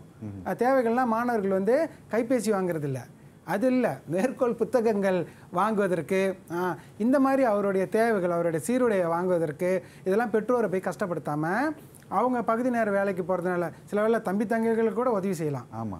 அப்போ இதெல்லாம் நன்மைகள். அடுத்தது பாருங்க எதிர்காலத்துக்கு இப்பயே அவர் பணத்தை சேமித்து வைத்துக் கொள்ளலாம். அடுத்து அவர் வந்து பல்கலைக்கழகம்லாம் போக தொடரணும். அப்போ இப்பயே நீங்கள் பணத்தை கொஞ்சம் கொஞ்சமாக நீங்கள் சேர்த்து வைத்துக் கொள்ளலாம். இது உதவியாக இருக்கும். ஆனால் அதே வேலையில் நம்ம முன்பு சொன்ன மாதிரி பகுதி நேர வேலைகளில் தீமை இருக்கு. கட்டாயம் மாணவர்கள் தீமை எழுதி தான் ஆக வேண்டும். பாருங்க படிப்பில் கவனம் செலுத்த முடியல. மாணவர்கள் சில வேளை இரவு வரைக்கும் வேலை செய்கிறாங்க பள்ளியில் போயிட்டு அவருக்கு அப்படியே சோர்வாக இருக்குது கவனம் உடல் வந்து சோர்வாயிடுது கவனம் செலுத்த முடியல. அப்போ பகுதி நேர வேலை செய்வதால் இந்த மாதிரியான தீமைகள்லாம் இருக்க தான் செய்யுது அடுத்தது பாருங்க தீய வழிகளுக்கு செல்லுதல். எப்படி தீய வழிக்கு போறாரு? ஒன்று அதிகமாக பணம் இருக்கு. பணம் இருக்கு. பணம் இருக்கு. அப்போ பணம் அதிகமாக இருக்கிற நேரத்தில் சில நேரத்தில் மாணவர்கள் வந்து தீய வழிகளுக்கு செல்றதுக்கு பணம் அதிகமாக இருந்தால் அது இட்டு செல்கின்றது. இன்னொன்று வேலை செய்கிற இடத்துல வந்து பார்த்தீங்கன்னா பெரிய பெரிய வேறு வேறு அண்ணன் அக்கா கூடலாம் நம்ம சேர வேண்டிய சூழ்நிலைலாம் இருக்கும். அப்போ அவங்களுடைய சூழ்நிலை வேறு. நம்ம வந்து பள்ளி பருவத்தில் இருக்கும் பாருங்க. பள்ளியில் படிக்கிறோம். அவங்க வந்து வேலை பருவத்தில் இருக்காங்க. அப்போ அவங்களுடைய சூழ்நிலைகள் வேறு மாதிரி இருக்கும். அப்போ சில நேரத்தில் அவங்க சொல்வது மாதிரி கேட்டுலாம் நம்ம சில நேரத்தில் தீய வழிகளுக்கு கூட மாணவர்கள் வந்து போயிடுறாங்க. ஏன்னா நட்பு அந்த மாதிரி நட்பு ஏற்படுது. அப்போ இது மாதிரி நீங்கள் என்ன தகவல்கள் வேணுமாலும் எழுதலாம். ஆனால் கண்டிப்பாக கட்டாயம் நன்மையும் இருக்க வேண்டும் தீமையும் இருக்க வேண்டும். பதற்றத்தில் வந்து நீங்கள் வந்து எத்தனை நன்மை எத்தனை தீமை குறைந்தபட்சம் ஒரு நன்மையாவது இருக்கணும். அப்போ ஒரு நன்மை எழுதுனா நான்கு தீமை எழுதணும். பாருங்க. குறைந்தது ஒன்றாவது இருக்கணும். ஆனால் நம்ம எப்பொழுதுமே அது பார்க்க நல்லா இருக்கணும். அந்த கட்டுரை ஒட்டுமொத்தமாக நல்லா இருக்கணும் என்பதற்காக இரண்டு நன்மை மூன்று தீமை அல்லது மூன்று நன்மை இரண்டு தீமைனா ஒட்டுமொத்தமாக பார்க்கறதுக்கு வந்து நல்லா இருக்கும். சரிங்க சார். இப்போ நம்ம மாணவர்கள் வந்து பகுதி நேரமாக வேலை செய்வது அவங்களை பொறுத்த மட்டிலும் வந்து நன்மை தீமையா அப்படின்னு நம்ம கேட்டு பார்ப்போமே. சொல்லுங்க மகாலட்சுமி. சற்று முன்பே பலமாக உணவுகளை சாப்பிட்டு கொண்டிருப்பதை நாங்கள் கவனித்தோம். பகுதி நேரமாக வேலை செய்வது நன்மையா தீமையா உங்களை பொறுத்தவட்டிலும் ரெண்டுமே கலந்து இருக்கு கலந்து செய்த கலவை அப்படின்னு சொல்றீங்களா? எங்க ஒன்று ஒன்று சொல்லுங்க பாப்போம். ஒரு நன்மை ஒரு தீமை சொல்லுங்க. ஃபேமிலிக்கு ஹெல்ப் பண்ணலாம். மணி விஷயத்துல. தீமை வந்துட்டு ரிலாக்ஸா இருக்க முடியாது. ஏன் ரிலாக்ஸாக இருக்க முடியாது? எதனால? அப்படி வேலை செஞ்சுக்கிட்டு அப்புறம் படிக்கணும். அப்படின்னு ஸ்ட்ரெஸ் தான் இருக்கும். ஆனா உண்மையான சூழ்நிலை அப்படியாகத்தான் இருக்கும். எதிர்காலங்கள் அதனால நீங்க தயார்படுத்திக்கணும் உங்களை அதுக்கு. சரியா? நன்றி நன்றி மகாலட்சுமி. எங்க மேசைக்கடையில் இன்னும் வச்சிருக்கீங்களா சாப்பாடெல்லாம்? இல்ல நான் சாப்பிடல. சரி சும்மா நகைச்சுவையாக தான் சொன்னேன். சரிங்க சார். நம்ம தொடர்ந்து பார்ப்போம். ஆக அப்போ மாணவர்கள் வந்து அதை நான் சொன்ன மாதிரி நீங்கள் உண்மையிலே வந்து வெறும் நன்மைன்னு கூட நினைக்கலாம். இல்லை எல்லாமே கெட்டது கூட நினைக்கலாம். நீங்கள் என்ன நினைத்தாலும் இந்த கட்டுரைக்கு நீங்கள் எழுதும் பொழுது நன்மை தீமை இரண்டையுமே நீங்கள். கட்டாயம் எழுத வேண்டும்? இதெல்லாம் ரொம்ப முக்கியமான ரொம்ப முக்கியமான விஷயங்கள். மாணவர்கள் இதெல்லாம் வந்து நீங்கள் தேர்வு எழுதும் போது இதெல்லாம் நீங்கள் வந்து ஞாபகத்தில் வைத்து கொள்ள வேண்டும். ரொம்ப முக்கியமான விஷயங்கள். இப்போ பாருங்க இதே தலைப்பு விளைவுகள்னு கொடுத்துருக்காங்க. இப்போ இதே தலைப்பு வந்து வாத கட்டுரையில் கூட கேட்கலாம். வாத கட்டுரையில் கூட கேட்கலாம். இப்போ உதாரணத்துக்கு வந்து மாணவர்கள் வந்து பகுதி நேர வேலைக்கு செல்வதால் தீமையே ஏற்படுகிறது. வாத கட்டுரையில் எப்பொழுதும் தலைப்பு வந்து எதையாவது வலியுறுத்தும். அப்போ நீங்கள் தலைப்பு சொல்கிற மாதிரியும் நம்ம தீமை தான் அப்படின்னு எடுத்துக்கலாம். அல்லது உங்களுக்கு பிடிக்கல இப்போ நீங்கள் மகிழ்ச்சியாக இருக்கிறீங்க பாருங்க பகுதி நேரம். அப்போ நன்மை எடுக்கிறதுனால எடுத்துக்கொள்ளலாம். ஆனால் வாத கட்டுரையில் தீமையை பற்றி எழுதுனா ஐந்தும் தீமை தான் எழுதணும். இரண்டாவது தலைப்பு வாத கட்டுரை பாருங்களேன். அதே நன்மை எழுத பாருங்கன்னா ஐந்தும் நன்மை தான் எழுதணும். அப்போ தான் அந்த கட்டுரை வந்து மிகச் சிறப்பாக இருக்கும். ஆக இதுதான் அந்த முக்கியமான விஷயங்கள். வாத கட்டுரை ஒன்று வந்து ஆதரித்து எழுதணும். இல்லை ஒன்று எதிர்ப்பாக எழுதணும். ஏதாவது ஒரு நிலையில் தான் எழுத வேண்டும். அதே இங்கே நம்ம எழுதும் பொழுது தீமை நன்மை இரண்டையுமே நம்ம எழுத வேண்டும். கருத்து விளக்க கட்டுரையில். அப்போ இந்த ஒன்றாவது கட்டுரை இரண்டாவது கட்டுரை மூன்றாவது கட்டுரையில் இதை வந்து மாணவர்கள் இந்த நுணுக்கத்தை வந்து கட்டாயம் தெரிந்து வைத்திருக்க வேண்டும். நினைக்கிறேன் இதெல்லாம் மாணவர்களுக்கு ஆஹ், உங்களுக்கெல்லாம் விளங்கும்னு நினைக்கிறேன். இதில் ஏதாவது வந்து குழப்பங்கள் எதுவும் இருக்கா? இருந்தால் நீங்கள் கேள்விகள் இருக்கா? ஆசிரியரிடம் கேட்பதற்கு? திடீர்னு கேட்டக்கூடாது எத்தனை மணிக்கு சார் கிளாஸை முடிப்பீங்க அப்படின்னு? ஏன்னா நீங்கள் எதுவும் உங்களுக்கு ஐயங்கள் இருந்து கேட்டால் அது வந்து பார்க்கின்ற மற்ற மாணவர்களுக்கும் வந்து. ஏன்னா உங்களுக்கு தான் அந்த கொடுத்து வைத்திருக்கின்ற வந்து கேள்வி கேட்டு மற்றவர்களுக்கு உதவி செய்யறதுக்கு ஆ, உங்களுக்கு தான் அந்த கொடுப்பனை இன்னைக்கு இருக்கு. அப்போ நீங்கள் எதுவும் ஐயங்கள் இருந்தால் உடனே கேட்கலாம். ஆ நம்ம விக்னேஸ்வரன். ஆஹ், முன்னுரையும் கட்டுரையும் எப்படி சுவாரஸ்யமாகவும் கவரும் வகையில் ஈர்த்துட்டு போகிறது அவர் வந்து ஒட்டுமொத்தமாக கேட்குறாரு எல்லா கட்டுரையுமே. ஏன்னா அந்த கட்டுரைகள் மிகச்சிறந்த கட்டுரை நான் எப்படி நான் எப்படி பார்ப்பேன்னு சொன்னால் ஒட்டுமொத்தமாக படிச்ச உடனே ஒரு கட்டுரை முதல்ல படிக்கிறேன் படிச்ச உடனே ஆஹா அருமையாக இருக்கு இப்போ வந்து திரைப்படம் பார்க்குறோம்ல. ஆமா. பார்த்த உடனே இவ்வளோ நல்லா இருக்க படம். பிறகு தான் அதில் உள்ள இதில் வந்து எது சிறப்பாக இருக்குது எது குறைவாக இருக்கிறதுலாம் பிறகு தான் ஆனால் ஒட்டுமொத்தமாக நம்மளை அந்த படம் கவர்ந்துருதில்ல அந்த மாதிரி தான் அப்போ பெரும்பாலும் மாணவர்கள் வந்து அந்த முன்னுரை படிக்கும் பொழுதே எழுதும் பொழுதே வந்து அவங்க எப்படி எழுத போகிறாங்கன்றது அங்கேயே முதல்ல நம்ம பார்த்துடலாம். அப்போ மாணவர்கள் முன்னுரை எழுதும் பொழுது என்ன செய்யலாம்னா மாணவர்கள் வந்து அங்கே பழமொழிகளை மொழி அணிகளை பயன்படுத்தலாம். பாடல் வரிகளை பயன்படுத்தலாம். ஆ, உங்க தலைப்புக்கு தொடர்புடைய பாடல் வரி. நான் சொல்லிட்டேன்ட்டு ஏதாவது எடுத்து போட்டு எழுதக்கூடாது. ஏன்னா இப்போ வந்து ரொம்ப பார்த்தீங்கன்னா அதிகமா எல்லாரும் இந்த என்ஜாய் என்ஜாமின்ற பாட்டு கேட்டுக்கிட்டு இருக்காங்க. அதெல்லாம் எடுத்து நீங்க புகுத்திடக்கூடாது. எழுதக்கூடாது. அப்ப உங்களுக்கு நிறைய பாடல்கள் இருக்கு. அப்ப அதற்கு ஏற்ற மாதிரி நீங்க பாடல் வரிகளை கூட எடுத்து போட்டு அஹ், நீங்க எழுதலாம். அல்லது ஒரு சுவாரஸ்யமான தகவல். முன்னுரையிலே சுவாரஸ்யமான ஒரு தகவல் வந்து நீங்க கொடுக்குறீங்க. சரிங்களா? அப்ப மாணவர்களுக்கு நம்ம படிக்கும் பொழுது நம்ம நம்மையே அது ஈர்த்துரும். ஓ இப்படிலாம் மாணவர் எழுதியிருக்காரு. நிறைய படிக்கிற மாணவர் அப்படின்ட்டு. ஏன்னா யா எந்த மாணவர் ரொம்ப சிறப்பாக ஈர்க்கும் வகையில் எழுதுவார்னா நிறைய படிக்கிற மாணவர்கள். ஆமா நிச்சயம். ஆமாம் நிறைய படிக்கிற இப்போ உள்ள மாணவர்கள் படிக்கிறாங்க. நிறைய மாணவர்கள் வந்து இந்த முகநூலில் போய் படிக்கிறாங்க.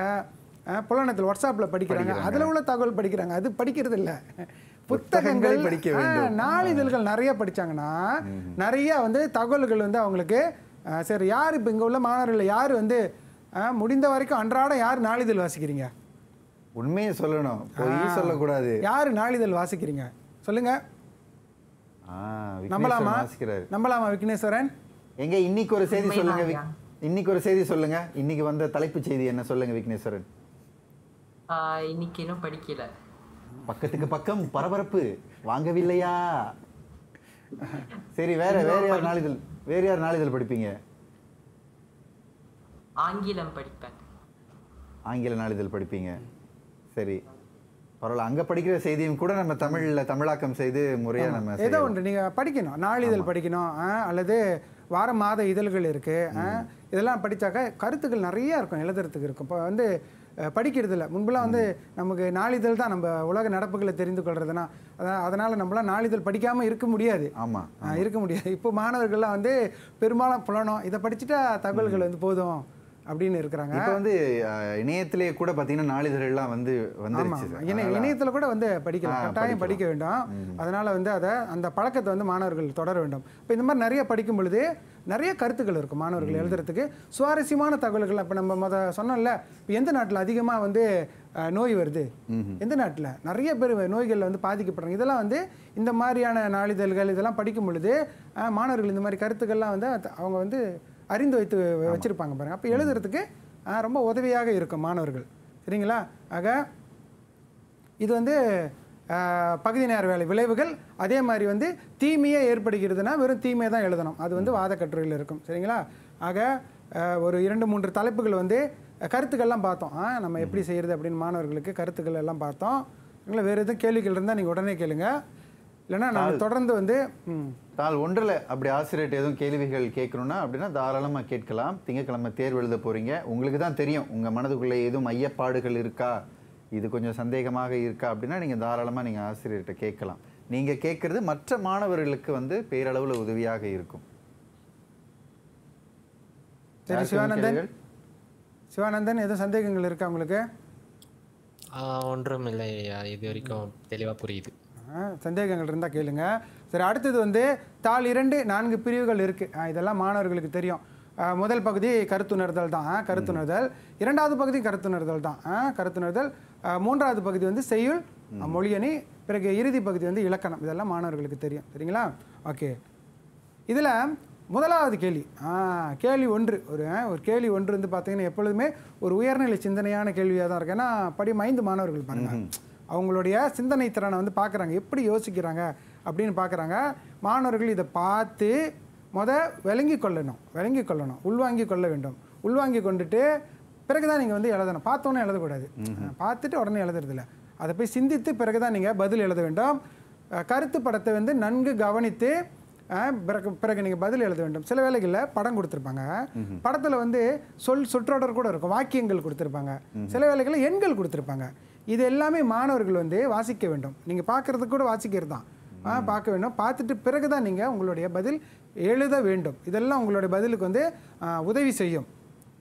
ஒரே ஒரு கருத்து எழுதுனா போதும். ஆ, ஒரு கருத்து தான் நீங்கள் சிவானந்தன். சிவானந்தன் சொல்லுங்க. ஐயா இந்த கேள்வி ஒன்றில் ஒரு படமாக கொடுக்காம ரெண்டு படமாக கொடுத்தாங்கன்னா எப்படி பதில் எழுதுறது? இது என்னன்னா ஒரு படம் கொடுத்துட்டு அந்த படத்தில் நம்ம ஒட்டி கேள்விகள் கேட்குறோம் அவர் என்ன கேட்குறாருன்னா இர- இரண்டு படங்கள் கூட கொடுத்துட்டு கூட கேள்விகள் கேட்கலாம். அப்போ இரண்டு படங்கள் கொடுத்தா பதில் வந்து கட்டாயம் இரண்டு படத்தில் உள்ள தகவலையும் நம்ம எழுதணும். அதாவது ஒப்பீடு செய்யணும். இப்போ நம்ம பெரும்பாலும் ஒரு படங்கள் கொடுத்து எழுதும் போது அந்த படத்தில் உள்ள தகவல்களை எழுதிடுறோம். நல்ல கேள்வி. இரண்டு படமாக இருந்தால் ஏதாவது ஒரு படத்தை எடுத்துகிட்டு எழுத முடியாது. இரண்டு படத்தையும் ஒப்பீடு செய்ய வேண்டும். ஒப்பீடு செய்து நீங்கள் எழுத வேண்டும். சரிங்களா? ஓகே பாருங்க. ஒரு கருத்து எழுதுனா போதும். அவங்க கருத்துன்னு கேட்டால் ஒரு கருத்து தான். ஆனால் அந்த ஒரு கருத்தில் நம்ம இரண்டு தகவல்களை நாம எழுத வேண்டும். இரண்டு தகவல்களை எழுத வேண்டும். இப்போ எடுத்துக்காட்டு அன்றைக்கி சொன்னது தான் திரும்ப ஞாபகப்படுத்துகிறேன் இப்போ மாணவர்கள் வந்து அதிகமாக கைபேசியை பயன்படுத்துகிற மாதிரி அங்கே வந்து படம் கொடுத்துருக்காங்க. அப்போ இவங்க என்ன எழுதுறாங்க? இன்றைய மாணவர்கள் கைபேசியை அதிகமாக பயன்படுத்துகிறாங்க அப்படின்னா அது வந்து ஒரு தகவல் தான் நம்ம என்ன செய்ய போகிறோம்னாக்கா பயன்படுத்தினால என்ன விளைவு ஏற்படுது? அதிகமாக பயன்படுத்துறதுனால கல்வியில் சிறந்து விளங்குறாங்க. அப்படி எழுதலாம்.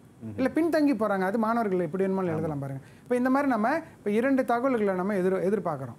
சரிங்களா? இப்போ இரண்டு தகவல் இருப்பதை மாணவர்கள் உறுதி செய்ய வேண்டும். இந்த முதலாவது கேள்விக்கு. அடுத்தது கேள்வி இரண்டு மூன்று. கேள்வி இரண்டு மூன்று. இதுவும் பார்த்தீங்கன்னா சின்ன சின்ன பணுவல்கள் தான். ஒன்றிலிருந்து ஆறு வரைக்கும் மாணவர்களுக்கு தெரியும். சின்ன சின்ன தூண்டல் பகுதிகள் கொடுத்துருப்பாங்க. அதை ஒட்டி தான் பதிலே மாணவர்கள் எழுத வேண்டும். மாணவர்களுக்கான பதில் வந்து உள்ளே இருக்கு. ஆ, இப்ப கையிலே வெண்ணெய் வச்சுட்டு நெய் நெய்க்கு. அலைய வேணாம். அங்கேயே இருக்கு. இருக்கிறத எடுத்து நீங்கள் எழுதுனீங்களா போதும். சரிங்களா? பாருங்க. ஆனால் அந்த பகுதி இருக்குல்ல அதை முழுமையாக படிக்கணும்.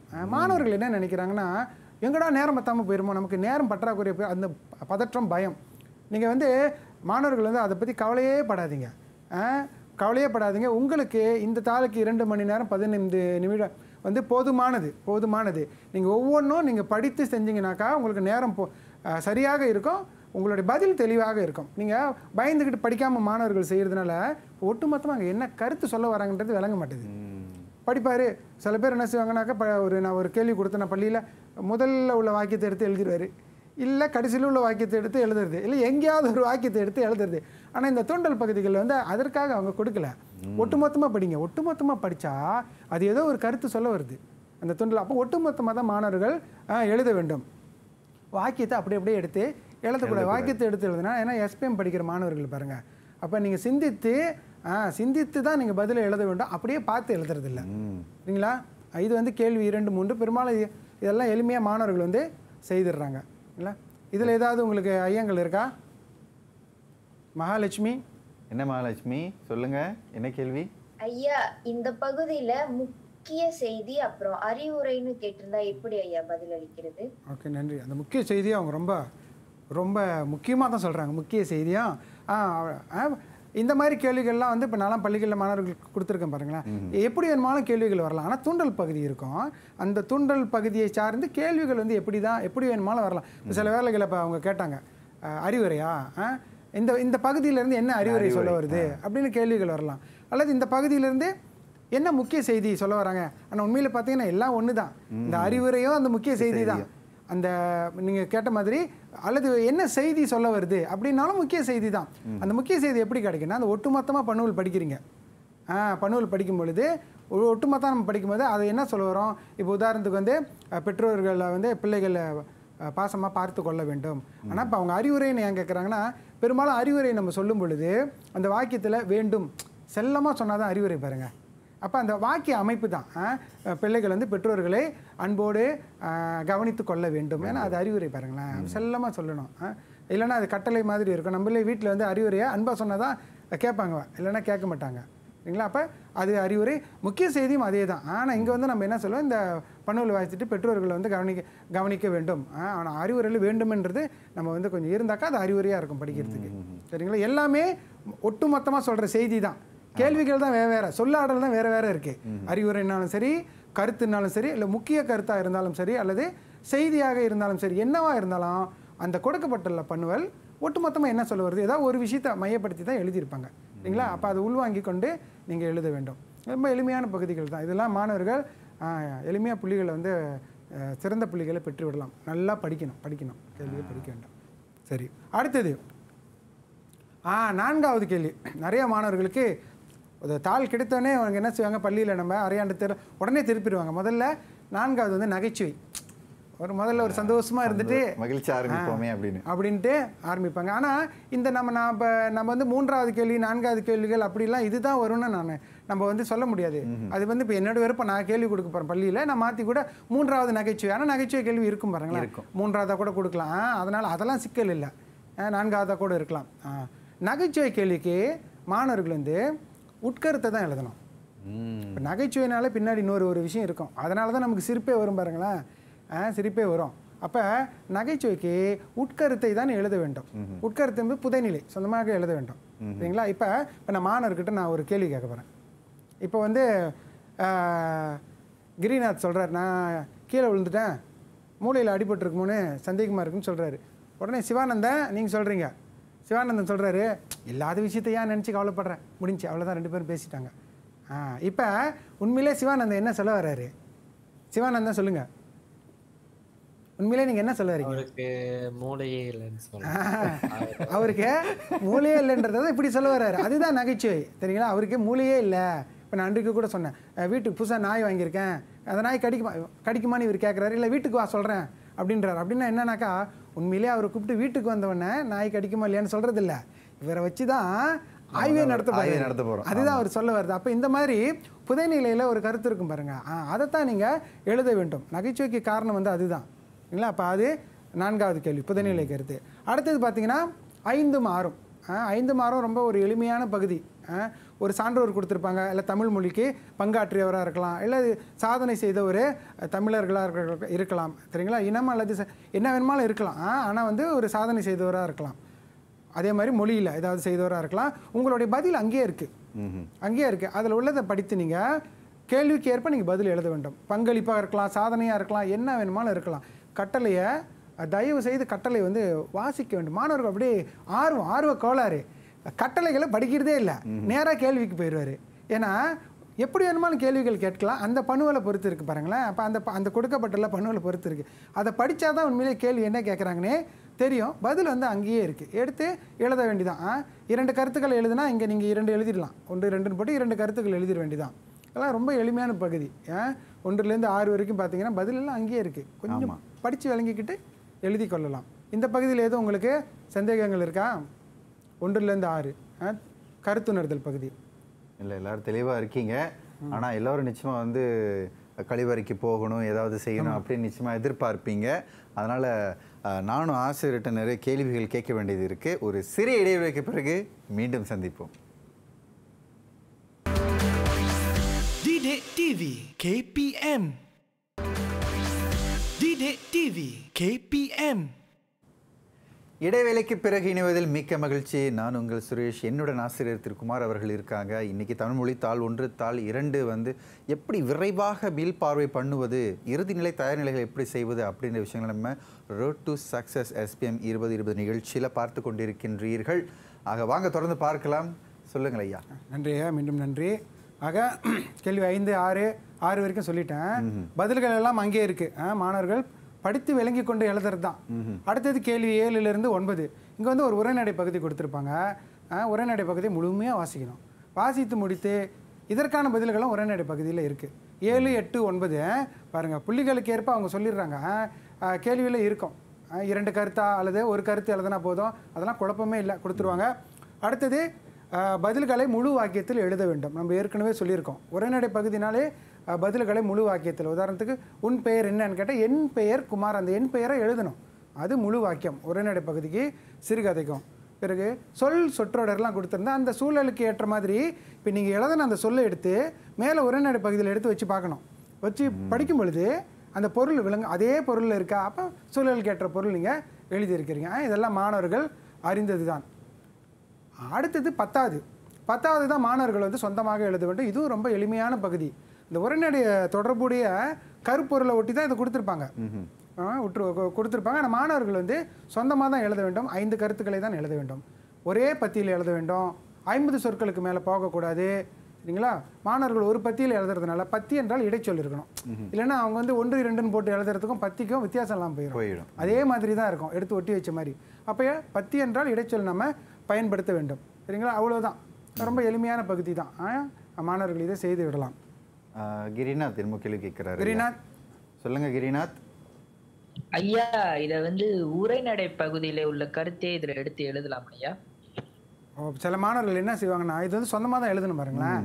அவர் என்ன செய்வார் உரைநடையில் வந்து இப்போ வந்து காரணம் இருந்துச்சுன்னா அந்த காரணத்தை அப்படியே மாற்றமாக செஞ்சு இங்கே ஒரு வழிமுறையாக எழுதுவார். ஆனால் அந்த மாதிரி வந்து முடிந்த வரைக்கும் நம்ம ஒன்பதாவது கேள்வியோட உரைநடை முடிஞ்சுச்சு. அது திரு பத்தாவதுக்கு வரும்பொழுது திரும்ப உரைநடைக்கு போக வேண்டாம். இங்கே வந்து எல்லாமே நீங்கள் சொந்தமாக தான் எழுதணும். ஆ சொந்தமாக தான். ரொம்ப எளிமை தானே. நீங்கள் சொந்தமாக ஏற்புடைய கருத்து என்ன எழுதினாலும் அதை வந்து ஏற்றுக்கொள்ளலாம். ஆமாம் ஆ ஓகே அடுத்தது. பதினொன்றுலேருந்து பதினான்கு எப்படி உரைநடை செஞ்சாங்களோ அதே மாதிரி தான் பதினொன்றுலேருந்து பதினான்கு.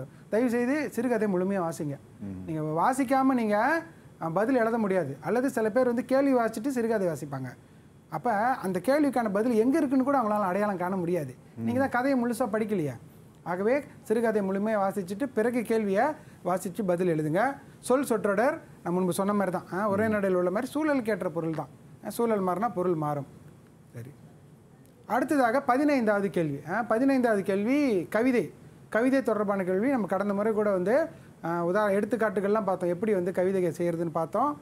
மாணவர்கள் வந்து கவிதையும் சிறுகதை கட்டாயம் முதல்ல வாசிக்க வேண்டும். கட்டாயம் வாசிக்கணும். அப்போ தான் அந்த கவிதை கடைசியில் இருக்கும். விஷயத்தை போய் கடைசியில் போய் வச்சுருப்பாங்க. அப்போ அந்த கவிதையில் என்ன சொல்ல வராங்கன்னு வாசிச்சா தான் உங்களுக்கு விளங்கணும். விளங்கின பிறகு தான் நீங்கள் எழுத தொடங்க முடியும். கவிதையை பார்த்தோன்னே இவர் ஒரு கவிஞராகிடுவார் ஆமாம் முதல் அடியை பார்த்தோன்னே இவர் அங்கே எழுதுவார். அந்த அளவுக்கு நம்ம நீங்களும் நானும் கவிஞர் ஆகலை பாருங்களேன். அதனால் தயவுசெய்து முதல்ல கவிதையை வாசிங்க. யாருக்கு சொல்ல வராங்க என்ன சொல்ல வராங்கன்னு தெரிந்த பிறகு பிறகு அந்த கருத்துக்கள் எல்லாம் நீங்கள் எடுத்து எழுதி விடலாம். இரண்டு கன்னிகள் கொடுக்குறதுன்னு நான் பெரும்பாலும் மாணவர்களுக்கு ரெண்டு பத்தியில் எழுதுங்கன்னு சொல்லுவேன். சரிங்களா? கவிதையில் உள்ள எல்லா கருத்துக்களையுமே நீங்கள் எழுதி இருக்க வேண்டும். இதை மாணவர்கள் ஞாபகம் வைத்துக் கொள்ள வேண்டும். சில மாணவர் என்ன செய்கிறாங்கன்னாக்கா பத்து புள்ளினால் அஞ்சு கருத்து போதும். ஆ அப்படிலாம் இருக்காங்க மாணவர்கள். அப்படி கிடையாது. கவிதையில் எத்தனை கருத்து இருக்குது பத்து கருத்து இருக்கா? கவிதையில் பத்து கருத்தும் எழுதணும் நீங்கள் கட்டாயம் எழுதினா தான் உங்களுக்கு முழு புள்ளிகள் கிடைக்கும். சரிங்களா? ஆக இந்த பகுதியில் மாணவர்கள் தெரிந்து கொள்ள வேண்டிய விஷயம் இது. அடுத்தது இதுதான் நம்ம வந்து இப்போ பிரிவு ஈக்கு போயிட்டோம். மாணவர்கள் வந்து இந்த பகுதியில் வந்து பார்த்தீங்கன்னா எல்லா மாணவர்கள்கிட்டையும் இலக்கண இலக்கிய விளக்குவரை வந்து மாணவர்கள் எல்லாருமே கையில் வச்சுருக்காங்க. உங்களுடைய பாடநூலையும் இதெல்லாம் இருக்குது சரிங்களா? அதை முன்கூட்டியே மாணவர்கள் வந்து நல்லா படிச்சுட்டு போயிட்டாங்கன்னா பதினாறுலேருந்து இருபத்தி ரெண்டு மிகச்சிறப்பாக செய்திருவாங்க. இதனுடைய எங்கே படிக்கணும்னா அங்கே தான் இலக்கண இலக்கிய விளக்குவரை தான். சரி இதில் பதினாறாவது கேள்வி. முதல் கேள்வி கட்டாயம் வாக்கியம் அமைத்தல் தான். அப்போ கூட மாணவர் வாக்கியம் அமைத்தல் வந்து பள்ளியில் வாக்கியம் அமைத்தல்ன்றதை முழுசாக படித்து புரிஞ்சிக்காம பொருளை எழுதி வைப்பார். பதினாறாவது கேள்விக்கு பாருங்க. மொழியணி இருக்கும் ஆனால் பொருள் விளங்கணும். உங்களுடைய வாக்கியம் பொருள் விளங்கணும் சில மாதிரிகள் பார்ப்போம். அடுத்தது பொருளை எழுதக்கூடாது ஏன்னா மறந்துடுவாராம் கொஞ்ச நேரம் விட்டால் மறந்துடுவோன்னே உடனே பொருளை எழுதி வச்சிடுறாரு. நம்ம சிவநாதன் அந்த மாதிரி தான் செய்வார் போல இருக்கு. சிவானந்தன். சிவநாதன் என்ன கேள்வி? ஐயா இப்போ நம்ம வாக்கியம் எழுதும்போது எழுத்துப்பிழை ஏற்பட்டுச்சுன்னா அதுக்கு ஏதாவது பாதிப்பு இருக்குதா ஐயா? ஆ, கண்டிப்பாக. முடிந்த வரைக்கும் வந்து நீங்கள் இந்த எழுத்து பிழைகள் எல்லாம் ஆ, எவ்வளோ நம்மளால் தவிர்க்க முடியுமோ எழுத்து பிழைகளை தவிர்க்க வேண்டும். கட்டுரையாக இருக்கட்டும் வாக்கியம். இன்னும் சில நேரத்தில் அந்த சொல்லு வந்து எழுத்து பிழையினால பொருளே மாறிடும் ஆமாம் ஆக முடிந்த வரைக்கும் நீங்கள் எழுத்து பிழைகள் வந்து கண்டிப்பாக வந்து அது பாதிப்பு தான். எனக்கு வாக்கியமே விளங்காமல் போகும். சரிங்களா? அப்போ அதை கொஞ்சம் கவனத்தில் நம்ம கொள்ள வேண்டும். ஒரு வாக்கியம்னா ஒரு வாக்கியத்தில் தான். அவங்க வாக்கியத்தில் அமைனா ஒரு வாக்கியத்தில் தான் எழுதணும். மொழி அணி இருக்கணும் வாக்கியத்தில் வாக்கியம் பயங்கரமாக எழுதிட்டு மொழி அணியே அதில் இருக்காது. கொடுக்கப்பட்டுள்ள மொழி அணி. சரி இப்போ நம்ம சில உதாரணங்கள் பார்ப்போம். பாருங்கள் பசுமரத்தாணி போல. பெற்றோர் அன்போடு கூறிய அறிவுரைகள் இனியனின் மனதில் பசுமரத்தாணி போல ஆழமாக பதிந்ததால் அவர் நற்பண்புகள் நிறைந்த மனிதராக வாழ்ந்து வருகின்றார். இந்த பதினாறாவது கேள்வியில் நான் வந்து ஒன்றாவது கேள்விக்கு சொன்னேன்ல இரண்டு செய்திகள் இருக்கணும்னு. அதே மாதிரி தான் இந்த பதினாறாவது கேள்வியும். நீங்கள் வந்து இரண்டு செய்திகள் இருக்கிறத உறுதி செய்யணும். அதாவது என்னன்னா ஒன்று காரணமாக இருக்கலாம். அல்லது விளைவாக இருக்கலாம். சரி இப்போ இதில் கூட பாருங்கள் பெற்றோர் அன்போடு கூறிய அறிவுரைகள் இனியன் மனதில் பசுமரத்தாணி போல பதிந்ததால் இப்போ இது வரைக்கும் பார்த்தீங்கன்னா இது வரைக்கும் நம்ம பார்த்தோம்னா மனசில் பதிஞ்சிருச்சு. அதனால் விளைவு பாருங்க. அவர் நற்பண்புகள் நிறைந்த மனிதராக வாழ்ந்து வருகிறார். இரண்டு செய்திகள் சொல்லிட்டு பார்த்தீங்களா அப்போ விளைவு இருக்குது இப்படி எழுதணும். அப்போ தான் அந்த வாக்கியம் நல்ல பொருள் விலங்குன்னு அதனால தான் சொல்கிறாங்க பொருள் விளங்கும்படி ஏன் சொல்கிறாங்க இதான் காரணம். நீங்கள் வந்து பெற்றோர் சொன்னது அவர் மனசில் ஆழமாக பதிஞ்சிருச்சுன்னா இவரை உங்களை பொறுத்த வரைக்கும் வாக்கியம் சரிதான். ஆனால் அது பொருள் இன்னும் விளங்கலை. ஆ, பதிந்தது என்றால் என்ன? அடுத்தது நல்ல மரத்தில் புல்லுருவி பாய்ந்தது போல பாருங்க. நற்பண்புகளுடைய வேலனோடு நட்பை ஏற்படுத்தி கொண்ட தீய குணமுடைய முகிலன்.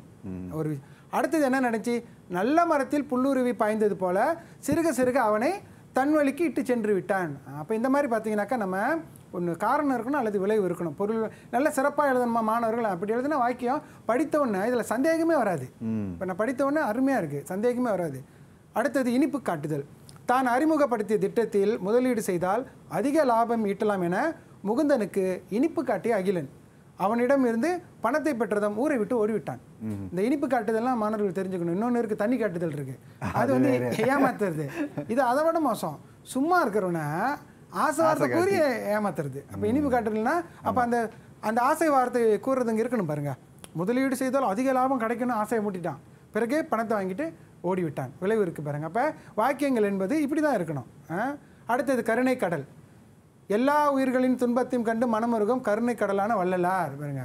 என்ன நடக்குது? பயிர்கள் வாடி போயிருப்பதை பார்த்து கண்ணீர் விட்டார். இப்போ என்ன இவர் எழுதுற இப்படி எழுதக்கூடாது. வள்ளலார் வந்து எல்லா உயிர்களின் துன்பத்தையும் கண்டு மனமுருகும் கருணை கடல். அப்போ விளைவு இல்லை பாருங்க. இதை நான் நிறையா வாட்டி மாணவர்களுக்கு நிறைய தடவை வந்து விளக்கியிருக்கேன். அடுத்தது வீட்டில் திருடன் புகுந்து விட்டதால் அப்பா தட தடவென அரை கதவை தட்டி என்னை எழுப்பினார். மாணவர் எழுதுவார் அப்பா தட தடவென அரை கதவை தட்டி என்னை எழுப்பினார். எனக்கு என்கிட்ட வாக்கிய மாணவர்கள் பள்ளியில் எழுதுனா சுழியம் கொடுப்பேன். வெளியிலேருந்து படிக்கிறோம் சரியாக தானே இருக்குது அப்படின்னு நினைப்பாங்க. இது வந்து பார்த்தீங்கன்னா அப்பா தட தடவென கதவை தட்டி என்னை எழுப்பினார். காரணம் இல்லை விளைவு இல்லை. இப்போ அதனால தான் பாருங்கள் வீட்டில் திருடன் புகுந்து விட்டதால்.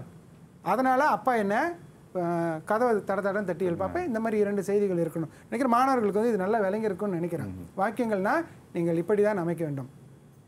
பதினேழாவது கேள்வி சிக்கல் இல்லை. பதினேழு இல்லை. ஏன் பாருங்க? ஒன்று குரல் கேட்பாங்க அல்லது பழமொழி கேட்பாங்க. குரல் கேட்டால் பொருள் அல்லது இங்கே ரெண்டு தகவல் இருக்குது பாருங்க. ஒன்று பொருள் கேட்கலாம் இன்னொன்று கருத்து கேட்கலாம்.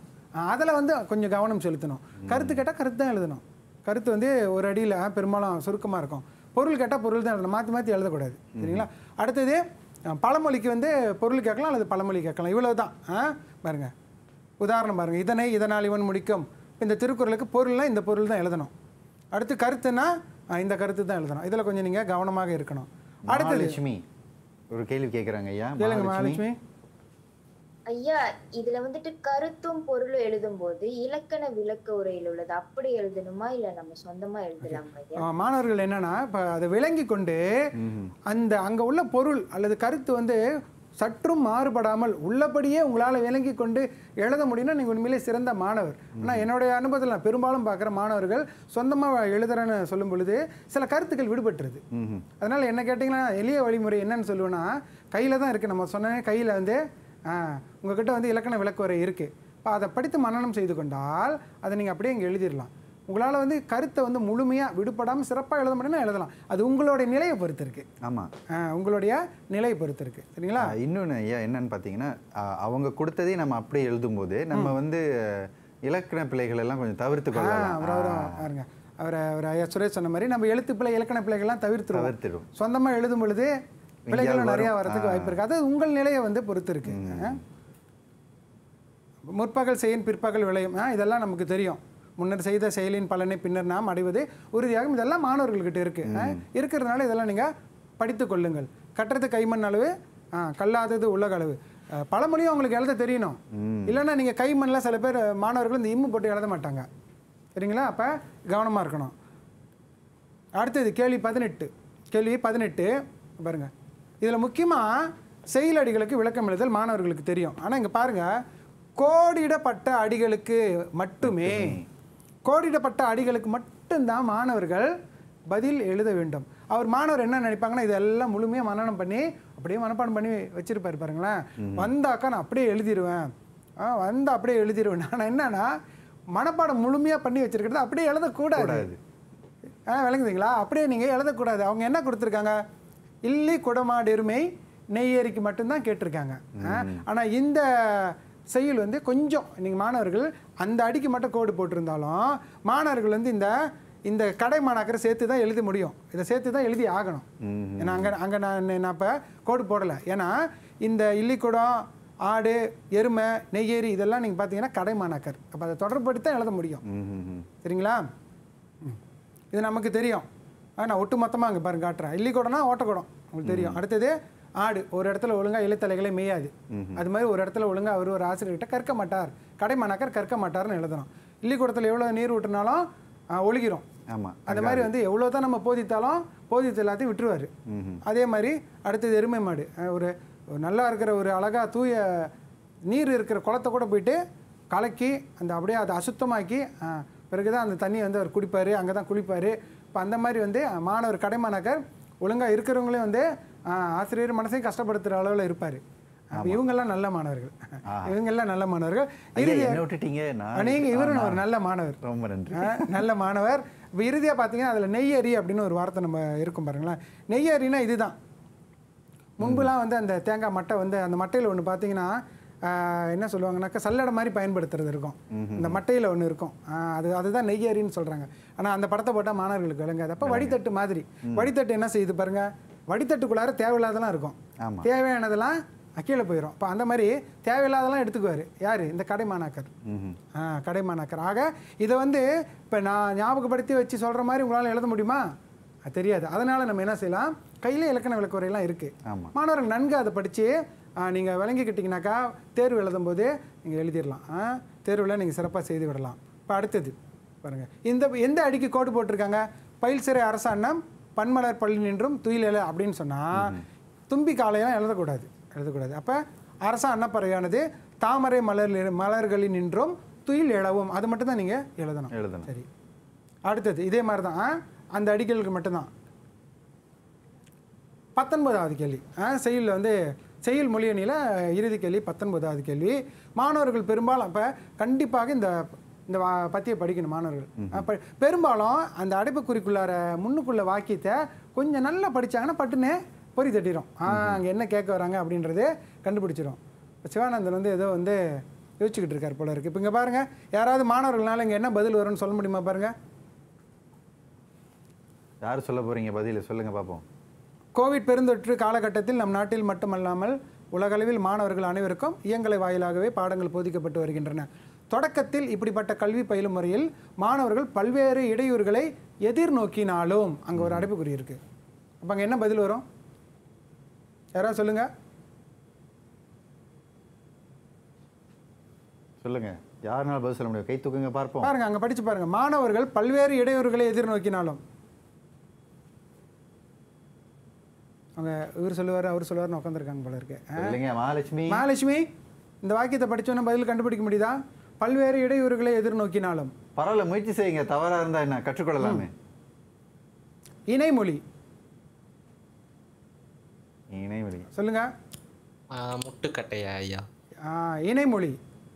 ஆனால் நீங்கள் சொன்னது வந்து பொருள் சரிதான். ஆனால் இப்போ அவருக்கு என்ன குழப்பம்னா இணைமொழிக்கும் மரபு தொடருக்கும் குழப்பமா இருக்காரு.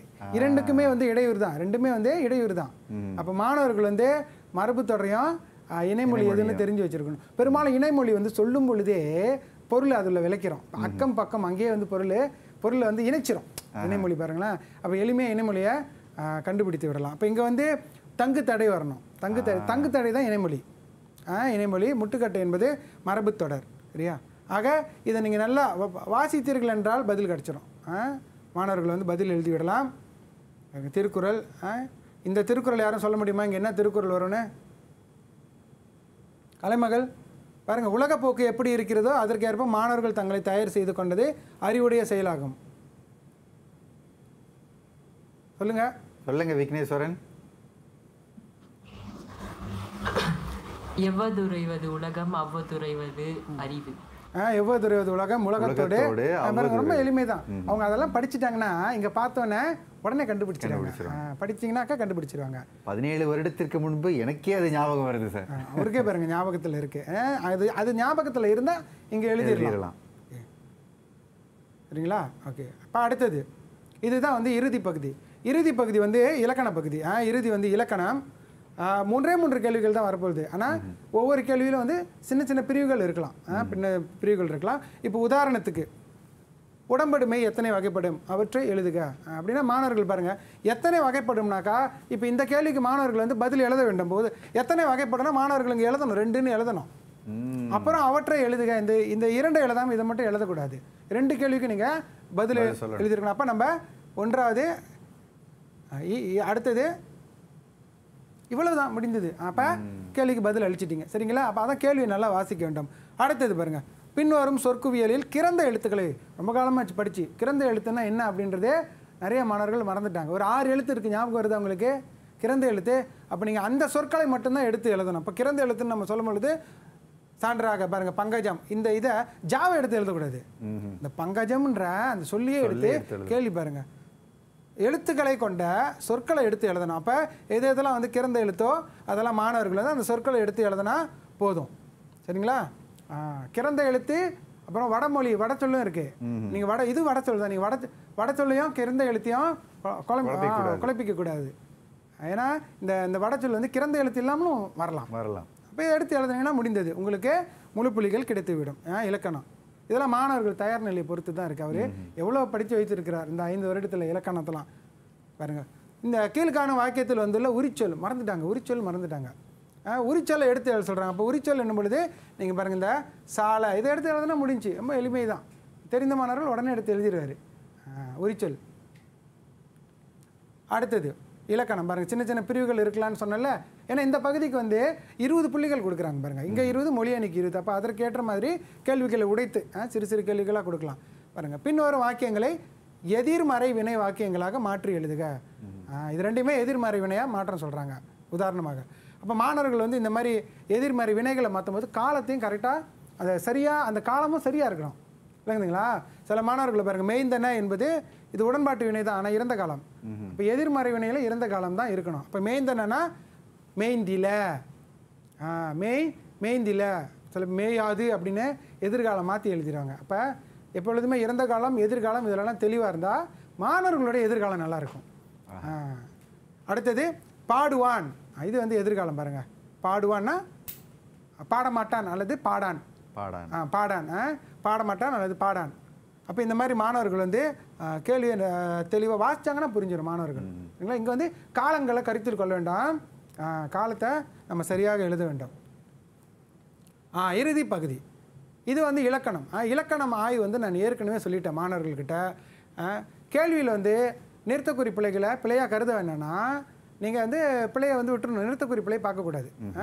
அதான் இவர் கட்டளை வாசிக்கிறது இல்லை அப்போ என்ன செய்வார்? அவருக்கு பிழை மாதிரி தெரியும். ஆனால் அது சரிதான். உடனே அதுக்கு மாற்றங்கள் செய்வார். சரிங்களா? அப்போ பிழை ஆய்வில் வந்து மூன்றே மூன்று பிழைகள் தான் கேட்க போகிறாங்க ஒன்றாவது வந்து நம்ம கடந்த முறை கூட பார்த்தோம். ஒன்றாவது எழுத்து பிழை. எழுத்து பிழை நான் எழுத்து பிழையாக எழுதியிருக்கேன். எழுத்து. பாருங்கள் ஒன்றாவது எழுத்து. ஒன்றாவது எழுத்து பிழை கேட்க போகிறாங்க எழுத்து பிள்ளையில் மூன்றே மூன்று எழுத்து தான் கேட்பாங்க.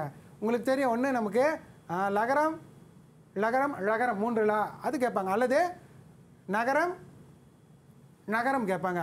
இறுதியாக ரகரம் ரகரம் இருக்குது இவ்வளோ தான் கேட்க போகிறாங்க எழுத்து பிள்ளையில் அப்போ இந்த மூணு எழுத்து எங்கே எங்கேயாவது வந்து மாற்றம் மாறி இருக்கான்னு தான் பார்க்கணும்.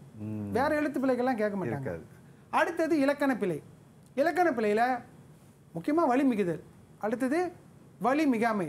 அடுத்தது மரபு. மரபுனா அந்த ஒரு ஓர் அப்புறம் இந்த ஒருமைக்கு ஏற்ற பன்மை.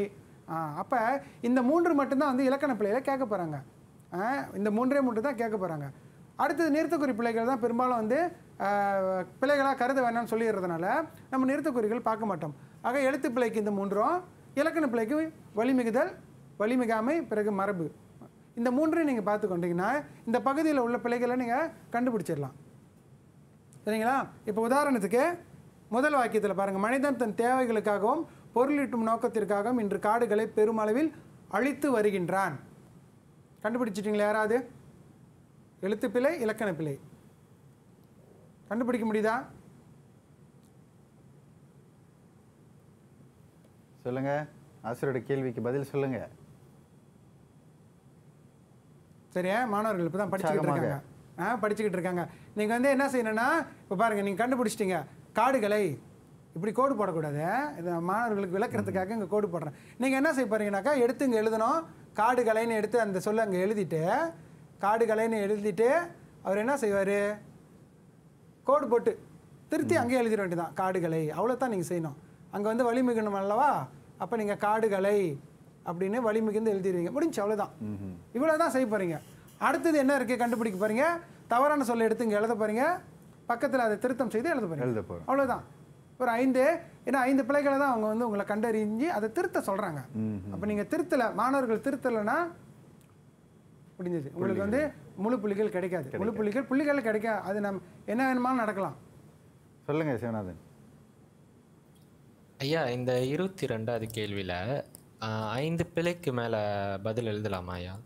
அது வந்து ஒரு சில மாணவர்கள் வந்து இப்போ இப்போ உண்மையிலே தெளிவாக தெரிகிற மாணவர். இப்போ நான் சொன்ன இந்த அடிப்படையில் எழுத்து பிழையும் இலக்கண பிழையும் நான் சொன்ன அடிப்படையில் பார்த்து தெளிவாக கண்டுபிடித்த மாணவர்கள் அங்கே ஐந்து பிழைகள் தான் இருக்கு. அதை சரி அவர் சரியாக எழுதிடுவார். கண்டுபிடிக்க மா முடியாத மாணவர்கள் தான் என்ன செய்யுது? ஏதாவது எடுத்து எடுத்து நிறைய எழுதி வைப்போமே. பத்துல ஒரு ஐந்து சரியா கிடைக்காதா? எடுத்து எழுதி வச்சிருவேன் அப்படின்றது யார் செய்வாங்க இந்த மாணவர்னா அந்த பிழையை கண்டுபிடிக்காத மாணவர்கள் தான் இப்படி எல்லாம் செய்வாங்க. பெரும்பாலும் பார்த்தீங்கன்னா ஐந்து பிழைகளை தான். அவங்க வந்து கட்டளையிலே ஐந்து பிழைகளை அடையாளம் கண்டு திருத்தி எழுதுகன்னு கொடுத்துட்றாங்க. நம்ம செய்யறது சரியா தவறான்னு நீங்கள் செய்யறது அந்த கட்டளையை ஒரு வாட்டி வாசித்து பாருங்க. ஐந்து பிழைகளே அவங்க ஐந்து பிழைன்னு தான் சொல்லியிருக்காங்க. அடையாளம் கண்டுனா எடுத்து எழுதி திருத்தம் செய்க திருத்துங்க அப்படின்னு சொல்றாங்க. இந்த மூன்று வேலையும் அங்கே செயலும் நடந்திருந்தா உங்களுக்கு முழு புள்ளிகள் கிடைத்து விடும் அப்போ அதிகமாக எல்லாத்தையும் எடுத்து எழுதுனா தெரியாத மாணவர்கள் எல்லாத்தையும் எடுத்து எழுதி வைக்கிறோம் இப்போ இங்கே கூட பார்த்தீங்கன்னா நமக்கு ஐந்து பிழைகள் தான் இருக்கு. ஆ, ஐந்து பிழைகள் அதை எடுத்து இது போன்று நீங்கள் திருத்தம் செஞ்சால் போதும். வேறு ஏதாவது சந்தேகங்கள் இருக்கா வேறு எதுவும் கேள்விகள் இருக்கா? இல்லை எப்படி போயிட்டு இருக்கு இறுதிக்கட்ட தயார் நிலைகள்லாம் எல்லாத்தையும் படிச்சிட்டீங்களா? நிஷாலினி? படித்து கொண்டே இருக்கிறோம். படித்து கொண்டே இருக்கிறோம். படித்து கொண்டே இருக்கிறோம். அது எப்படி எல்லாம் சொல்லி வச்சது போல ஒரே மாதிரி பதில் சொல்றீங்க? படித்து கொண்டே இருக்கிறோம். படித்து கொண்டே இருக்கிறோம். சரி ஏறக்குறைய வந்து இரண்டு தாள்லையும் மாணவர்கள் முக்கியமாக கவனிக்க வேண்டிய கூறுகள் எல்லாம் வந்து மாணவர்களுக்கு விளக்கிட்டேன் ஏற்கனவே பேசப்பட்டது தான் இப்போ அதையும் தாண்டி இது இறுதி நேரத்தில் சில விஷயங்கள் மாணவர்களுக்கு கூட வந்து சொல்ல வேண்டும். ஆ, மாணவர்களுக்கு தெரியும் தான் சொல்ல வேண்டும் பாருங்களேன். சிறந்த தேர்ச்சியை பெறுதுன்னா மாணவர்கள் என்ன செய்ய வேண்டும்? எல்லா கேள்விகளுக்கும் விட இருக்கணும்.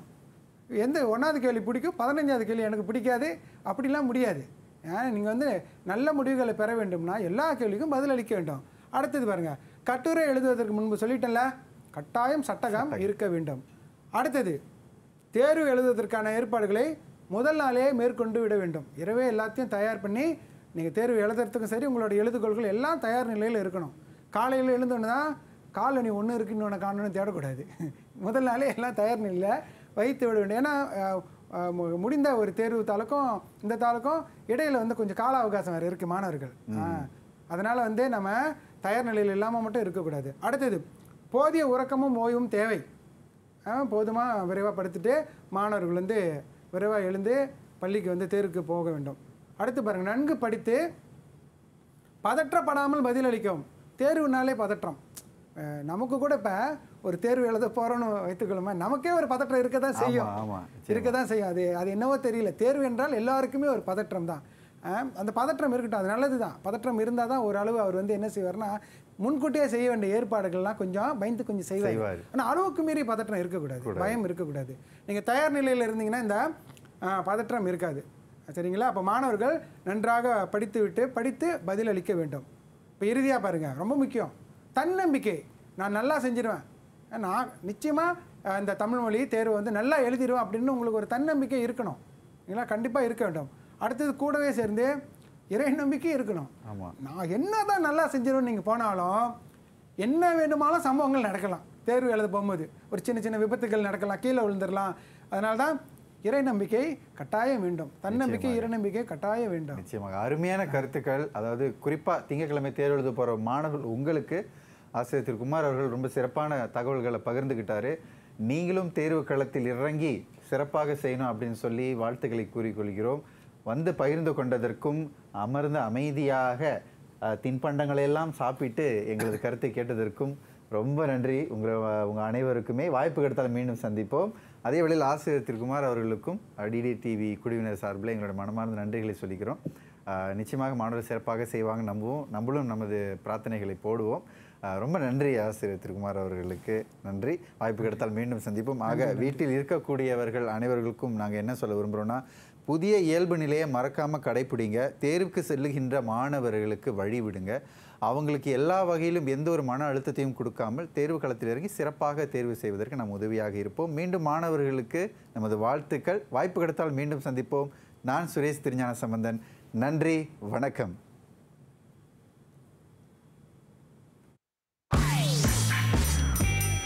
TV KPM வணக்கம். என் பேர் சித்ரா தேவி. இந்த ஆண்டு எஸ்பிஎம் எழுத அனைத்து மாணவருக்கும் வாழ்த்துக்களை தெரிவித்துக் கொள்கிறேன். எனது மகனும் எஸ்பிஎம் எடுக்கிறார் இந்த இந்த ஆண்டு. தமிழ் மொழி எடுப்பதால் பல்கலைக்கழகத்துக்கு போக பெரும் உதவியாக இருக்கும். நன்றி வணக்கம். வணக்கம். என் பேர் காமாட்சி பரமன். என் மகனின் பெயர் ருபிலன் சுகுமாரன் அஹ் நம்மக்கிட்ட உள்ள சொத்துலேயே பெரிய சொத்து வந்து நம்மளோட தாய்மொழி. நம்ம தாய்மொழியில் தமிழை நம்ம பிள்ளைங்களுக்கு பேசவும் படிக்கவும் கற்றுக் கொடுப்போம். இந்த வருடம் வந்து என் மகனை வந்து தமிழும் தமிழ் இலக்கியம் எடுக்கிறாரு. அவருக்கு என்னுடைய பாராட்டுகளும் நல்வாழ்த்துக்களும் தெரிவிச்சுக்கிறேன். அதே போல் அவரை போல தமிழ் எடுக்கும் மற்ற மாணவர்களுக்கும் என்னுடைய பாராட்டுகளும் நல்வாழ்த்துக்களும் தெரிவித்துக் கொள்கிறேன். இந்த வருடம் தமிழ் எடுக்கும் எல்லா மாணவர்களும் நல்ல சிறப்பாக செய்யணும்னு ஆண்டவனை பிரார்த்திக்கிறேன். நன்றி வணக்கம்.